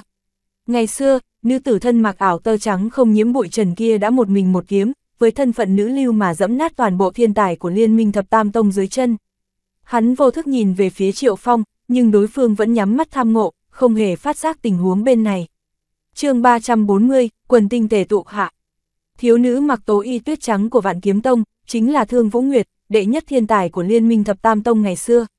Vạn Kiếm Tông được tôn làm đệ nhất kiếm tông của Bắc Đại Lục, truyền thừa cổ xưa, thực lực nội tình hùng hầu, thực lực chỉnh thể của tông phái gần sánh ngang với thập đại tông phái. Tông phái cấp bậc này giáng lâm, những cường quốc, tông phái còn lại đều vội vã né tránh. Thủ tịch đệ tử Hạ Tiên Thương của Vạn Kiếm Tông, trong giới chân long hội lần trước đã tiến vào 30 hạng đầu, thứ tự không chênh lệch Mạc Thiên Y lắm. Ngoại trừ Mạc Thiên Y ra, trong số những tân tinh thế hệ mới của Bắc Đại Lục, không còn người nào có thể chống lại hắn vẻ mặt của những thiên tài đến từ khắp nơi đều có chút sợ hãi, thầm dò xét thiếu niên tóc trắng quỷ gì kia. Hạ tiên thương, tu vi chân huyền cấp, đệ nhất thiên tài kiếm tông của Bắc Đại Lục, cho dù phóng mắt khắp toàn đại lục cũng có chút thanh danh. Ồ, thiếu nữ mặc áo áo tơ trắng kia là ai, chỉ có tu vi chân nhân cấp đại thành, vậy mà có thể trở thành một trong hai danh ngạch của vạn kiếm tông. Các ngươi không biết nàng sao, nàng chính là nữ thiên tài kiếm đạo mới xuất hiện gần đây của vạn kiếm tông thương Vũ Nguyệt. Tư chất không thua hạ tiên thương, nghe nói nàng lĩnh ngộ kiếm ý còn sớm hơn cả hạ tiên thương năm đó. Ánh mắt của thiên tài tất cả tông phái đều tập trung vào hai đại thiên tài của vạn kiếm tông. Người lĩnh quân của ba đại quốc, như Kim Thái Tử, Lăng Nguyệt Công Chúa, đều mỉm cười tiến lên, chào hỏi với Hạ Tiên Thương. Hạ Tiên Thương khẽ mỉm cười gật đầu với Lăng Nguyệt Công Chúa, về phần đám người Kim Thái Tử, chỉ có chút ân tượng thái độ khá là lãnh đạm. Trong lòng Kim Thái Tử có chút không vui, nhưng cũng không dám biểu hiện ra ngoài. Hoàng thất của ba đại quốc đều muốn lôi kéo vạn kiếm tông nên tuyệt đối không dám đắc tội. Thương Vũ Nguyệt này, không ngờ có thể tranh đoạt được một trong hai danh ngạch của vạn kiếm tông. Trong lòng Lăng Nguyệt công chúa có chút kinh ngạc, trong ấn tượng của nàng Vạn Kiếm Tông vẫn còn hai ba thiên tài tu vi đã ngoài chân nhân cấp đỉnh phong thực lực có thể sánh ngang với Kim Thái Tử. Thương Vũ Nguyệt có thể cạnh tranh trong hoàn cảnh như vậy, thật khó tưởng tượng nổi chiến lực của nàng đạt đến mức nào. Đáng tiếc, lúc này Triệu Phong đang nhắm mắt tham ngộ, cũng không phát hiện ra Thương Vũ Nguyệt. Mái tóc của hắn đã biến thành màu lam, khí chất cũng lạnh lùng đạm mạc, hoàn toàn bất đồng với trước kia, cho nên Thương Vũ Nguyệt cũng không lưu ý. Thế nhưng bắc mạc ở một nơi hẻo lánh lại nhận ra Thương Vũ Nguyệt, trong lòng có chút kích động. Hai người đều xuất thân từ một địa vực xa xôi, lúc này có cơ hội cùng thi đấu giao phong tại một sân khâu võ đài lớn nhất, đây chính là nhân sinh vi diệu cỡ nào. Những thế lực khác cũng không dám khinh suất khiêu chiến hai đại thiên tài của Vạn Kiếm Tông. Đặc biệt là Hạ Tiên Thương, thiên tài đỉnh phong đã du sơn ngoạn thủy khắp Bắc Đại Lục, đoán chừng thiên tài có mặt ở đây, không có ai có thể ngăn được một kiếm của hắn. Ngược lại, về phần thương Vũ Nguyệt thì vẫn có một ít thiên tài dục dịch muốn thử thăm dò đôi chút, ví dụ thiên chi kiêu nữ như Lăng Nguyệt công chúa. Đúng lúc này, trên bầu trời lại truyền đến tiếng xé gió. Liên tiếp mấy tông phái, không ít thiên tài đều lục tục giáng lâm. Mau nhìn, người của thiên nguyên tông đến rồi, Mạc Thiên Y đã đến. Một lúc sau, cả Bắc Tinh Đài lập tức chấn động. Mọi người đều đồng loạt ngẩng đầu. Trên không trung xuất hiện mấy loài chim cực lớn dương cánh bay, sải cánh rộng hơn 30 trượng. Trong đó, có ba bốn luồng khí tức đã ngoài chân chủ cấp, còn có hai luồng khí tức đạt tới nửa bước đan nguyên cảnh. Những thân ảnh này vừa giáng lâm, khí thế cường đại lập tức bao phủ toàn trường. Thân là một trong thập đại tông phái, tùy tiện một trưởng lão của Thiên Nguyên Tông đều là chân chủ cấp. Đệ tử đại biểu cho Thiên Nguyên Tông có chừng 10 người. Người cầm đầu là một thanh niên anh vĩ siêu phàm, trong mắt phảng phất lấp loáng thần quang mỗi cái giơ tay nhấc chân đều khiến người khác cảm thấy áp lực không thể đối mặt, giống như kiêu hùng dẫn dắt thời đại. Hắn chính là Mạc Thiên Y sao? Thần thoại đỉnh phong của Bắc Đại Lục, không ít thiên tài đều cảm thấy hô hấp trở nên gấp gáp, thần sắc kích động thậm chí lộ vẻ sùng bái. Một ít nữ thiên tài ngóng nhìn gương mặt tuấn lãng như đao gọt của Mạc Thiên Y, khí chất bao quát chúng sinh vừa hiện, tâm hồn thiếu nữ lập tức bay bổng vẻ mặt ửng hồng. Sau khi Mạc Thiên Y đến, bầu không khí trên Bắc Tinh Đài liền trở nên có chút kỳ dị. Hắn đứng ngạo nghễ tại chỗ, dáng vẻ anh vĩ bất phàm, như hạc giữa bầy gà, khí chàng phát ra lấn áp thiên tài toàn trường. Trong mơ hồ, hắn dường như đã trở thành thiên tài đứng đầu Bắc Đại Lục. Chỉ có hạt tiên thương của vạn kiếm tông là trong mắt lộ ra duệ kiếm sắc bén, rằng co vô hình với Mạc Thiên Y, tinh thần vô hình va chạm, khiến cho thiên tài bốn phía đều run rẩy bất an. Hồi lâu sau, trên sân mới an tĩnh lại, chẳng qua, càng nhiều ánh mắt quan sát 11 thiên tài của Thiên Nguyên Tông hơn. Thiên tài của Thiên Nguyên Tông thực lực chỉnh thể rất mạnh, chân nhận cấp đỉnh phong có 5-6 người, chiến lực của mỗi người chỉ mạnh chứ không yếu hơn Kim Thái Tử. Ngoại trừ Mạc Thiên Y ra, Thiên Nguyên Tông còn một vị thiếu nữ thanh nhã tinh xảo, lập tức hấp dẫn ánh mắt của mọi người. Thiếu nữ kia thanh tú tuệ nhã, mỉm cười tự nhiên, tư thái khuynh quốc, một thân váy tím nhạt như sương khói, nước da óng ánh một cách kỳ dị, phảng phất như tiểu mỹ nhân được xây lên từ băng ngọc. Là nàng, Triệu Vũ Phi, ánh mắt của Bắc Mặc và Thương Vũ Nguyệt đều dừng lại trên người thiếu nữ váy tím kia. Ngày xưa, thế cục của Hoành Vân Thập Tam Quốc phát sinh biến hóa nghiêng trời lệch đất. Không ít thiên tài đều rời đi khắp nơi. Bắc mặc theo Vân Hải chân nhân cùng phản bội, Thương Vũ Nguyệt thì thành công tiến vào đệ nhất kiếm tông của Bắc Đại Lục. Triệu Phong thì trở thành đà chủ của thiết huyết giáo. Trong ba người này, kỳ ngộ của Thương Vũ Nguyệt còn tốt hơn cả Bắc Mặc và Triệu Phong. Thế nhưng, chẳng ai ngờ rằng, mỹ nhân Triệu Vũ Phi lại đạt được kỳ ngộ càng lớn hơn. Thập đại tông phái, đây chính là những tông phái cổ xưa, đứng đầu toàn bộ đại lục. Thiên Nguyên Tông đến rồi, Vạn Kiếm Tông cũng đến, những thế lực đủ phân lượng của Bắc Đại Lục trên cơ bản đều đã trình diện rồi. Ánh mắt của không ít thiên tài đều đảo qua dò xét toàn trường. Còn thiếu một tông phái, mắt phượng của lãng nguyệt công chúa quét qua toàn trường, thiếu tông phái nào, còn thiếu vạn nguyên tông đây là tông phái còn xa xưa hơn cả thiên nguyên tông. Lăng Nguyệt công chúa trịnh trọng nói, vừa dứt lời, tiếng xé gió truyền đến, trong tầng mây xanh xa xa, một đoàn xích vân quỷ dị, đường kính vài chục trượng, bên trên mơ hồ có thể nhìn thấy một vài thân ảnh. Nếu nhìn kỹ sẽ phát hiện đoàn xích vân kia là do vô số tơ kim loại xích sắc bện lại mà thành. Vạn Nguyên Tông cũng đến rồi. Thiên Nguyên Tông Vạn Kiếm Tông và đám thiên tài xung quanh đều đồng loạt nhìn tới. Tại Bắc Đại Lục, truyền thừa của Vạn Nguyên Tông là xa xưa nhất, thực lực xếp ngang với Vạn Kiếm Tông gần bằng Thiên Nguyên Tông. Người của Vạn Nguyên Tông đến không nhiều lắm, chỉ chừng ba người. Một lão giả ra mặt nhăn nheo, hai gã nam tử. Trong đó có một thanh niên đầu tóc xoăn, đứng chấp tay, hai mắt tĩnh mịch, một thân tu vi đạt tới chân huyền cấp. Một thiếu niên áo bào xanh khác thì bình thường không có gì đặc biệt, chỉ nhắm mắt, không hề thu hút chút nào. Phần lớn ánh mắt của các thiên tài đều bị thiên tài chân huyền cấp kia thu hút. Chẳng qua, có một vài thiên tài đỉnh phong ví dụ như đậm người mặc thiên y, hạ tiên thương lăng nguyệt công chúa lại đều chú ý đến người thiếu niên mặc áo bảo xanh thứ hai. Cách ăn mặc và gương mặt của thiếu niên kia đều quá mức bình thường rất dễ khiến cho người khác xem nhẹ. Tân vô ngân, trong mắt thiên vân chi hiện lên chiến ý mãnh liệt, cổ đao thanh phong sau lưng khẽ run rẩy. Tân vô ngân, hắn là quỷ tài danh chấn Bắc Đại Lục mấy năm gần đây. Tên Tân Vô Ngân này còn chưa đến 20 tuổi vậy mà đã trở thành thủ tịch đệ tử của Vạn Nguyên Tông trong đám cùng thế hệ, cũng chỉ thua mình Mạc Thiên Y mà thôi. Nghe nói, Lam Nguyệt Công Chúa, Kim Thái Tử và đám thiên tài của Bắc Đại Lục đều từng thua trong tay người này. Không ít thiên tài dưới sân đều mở to hai mắt, nhìn chằm chằm vào Tân Vô Ngân. Chẳng qua,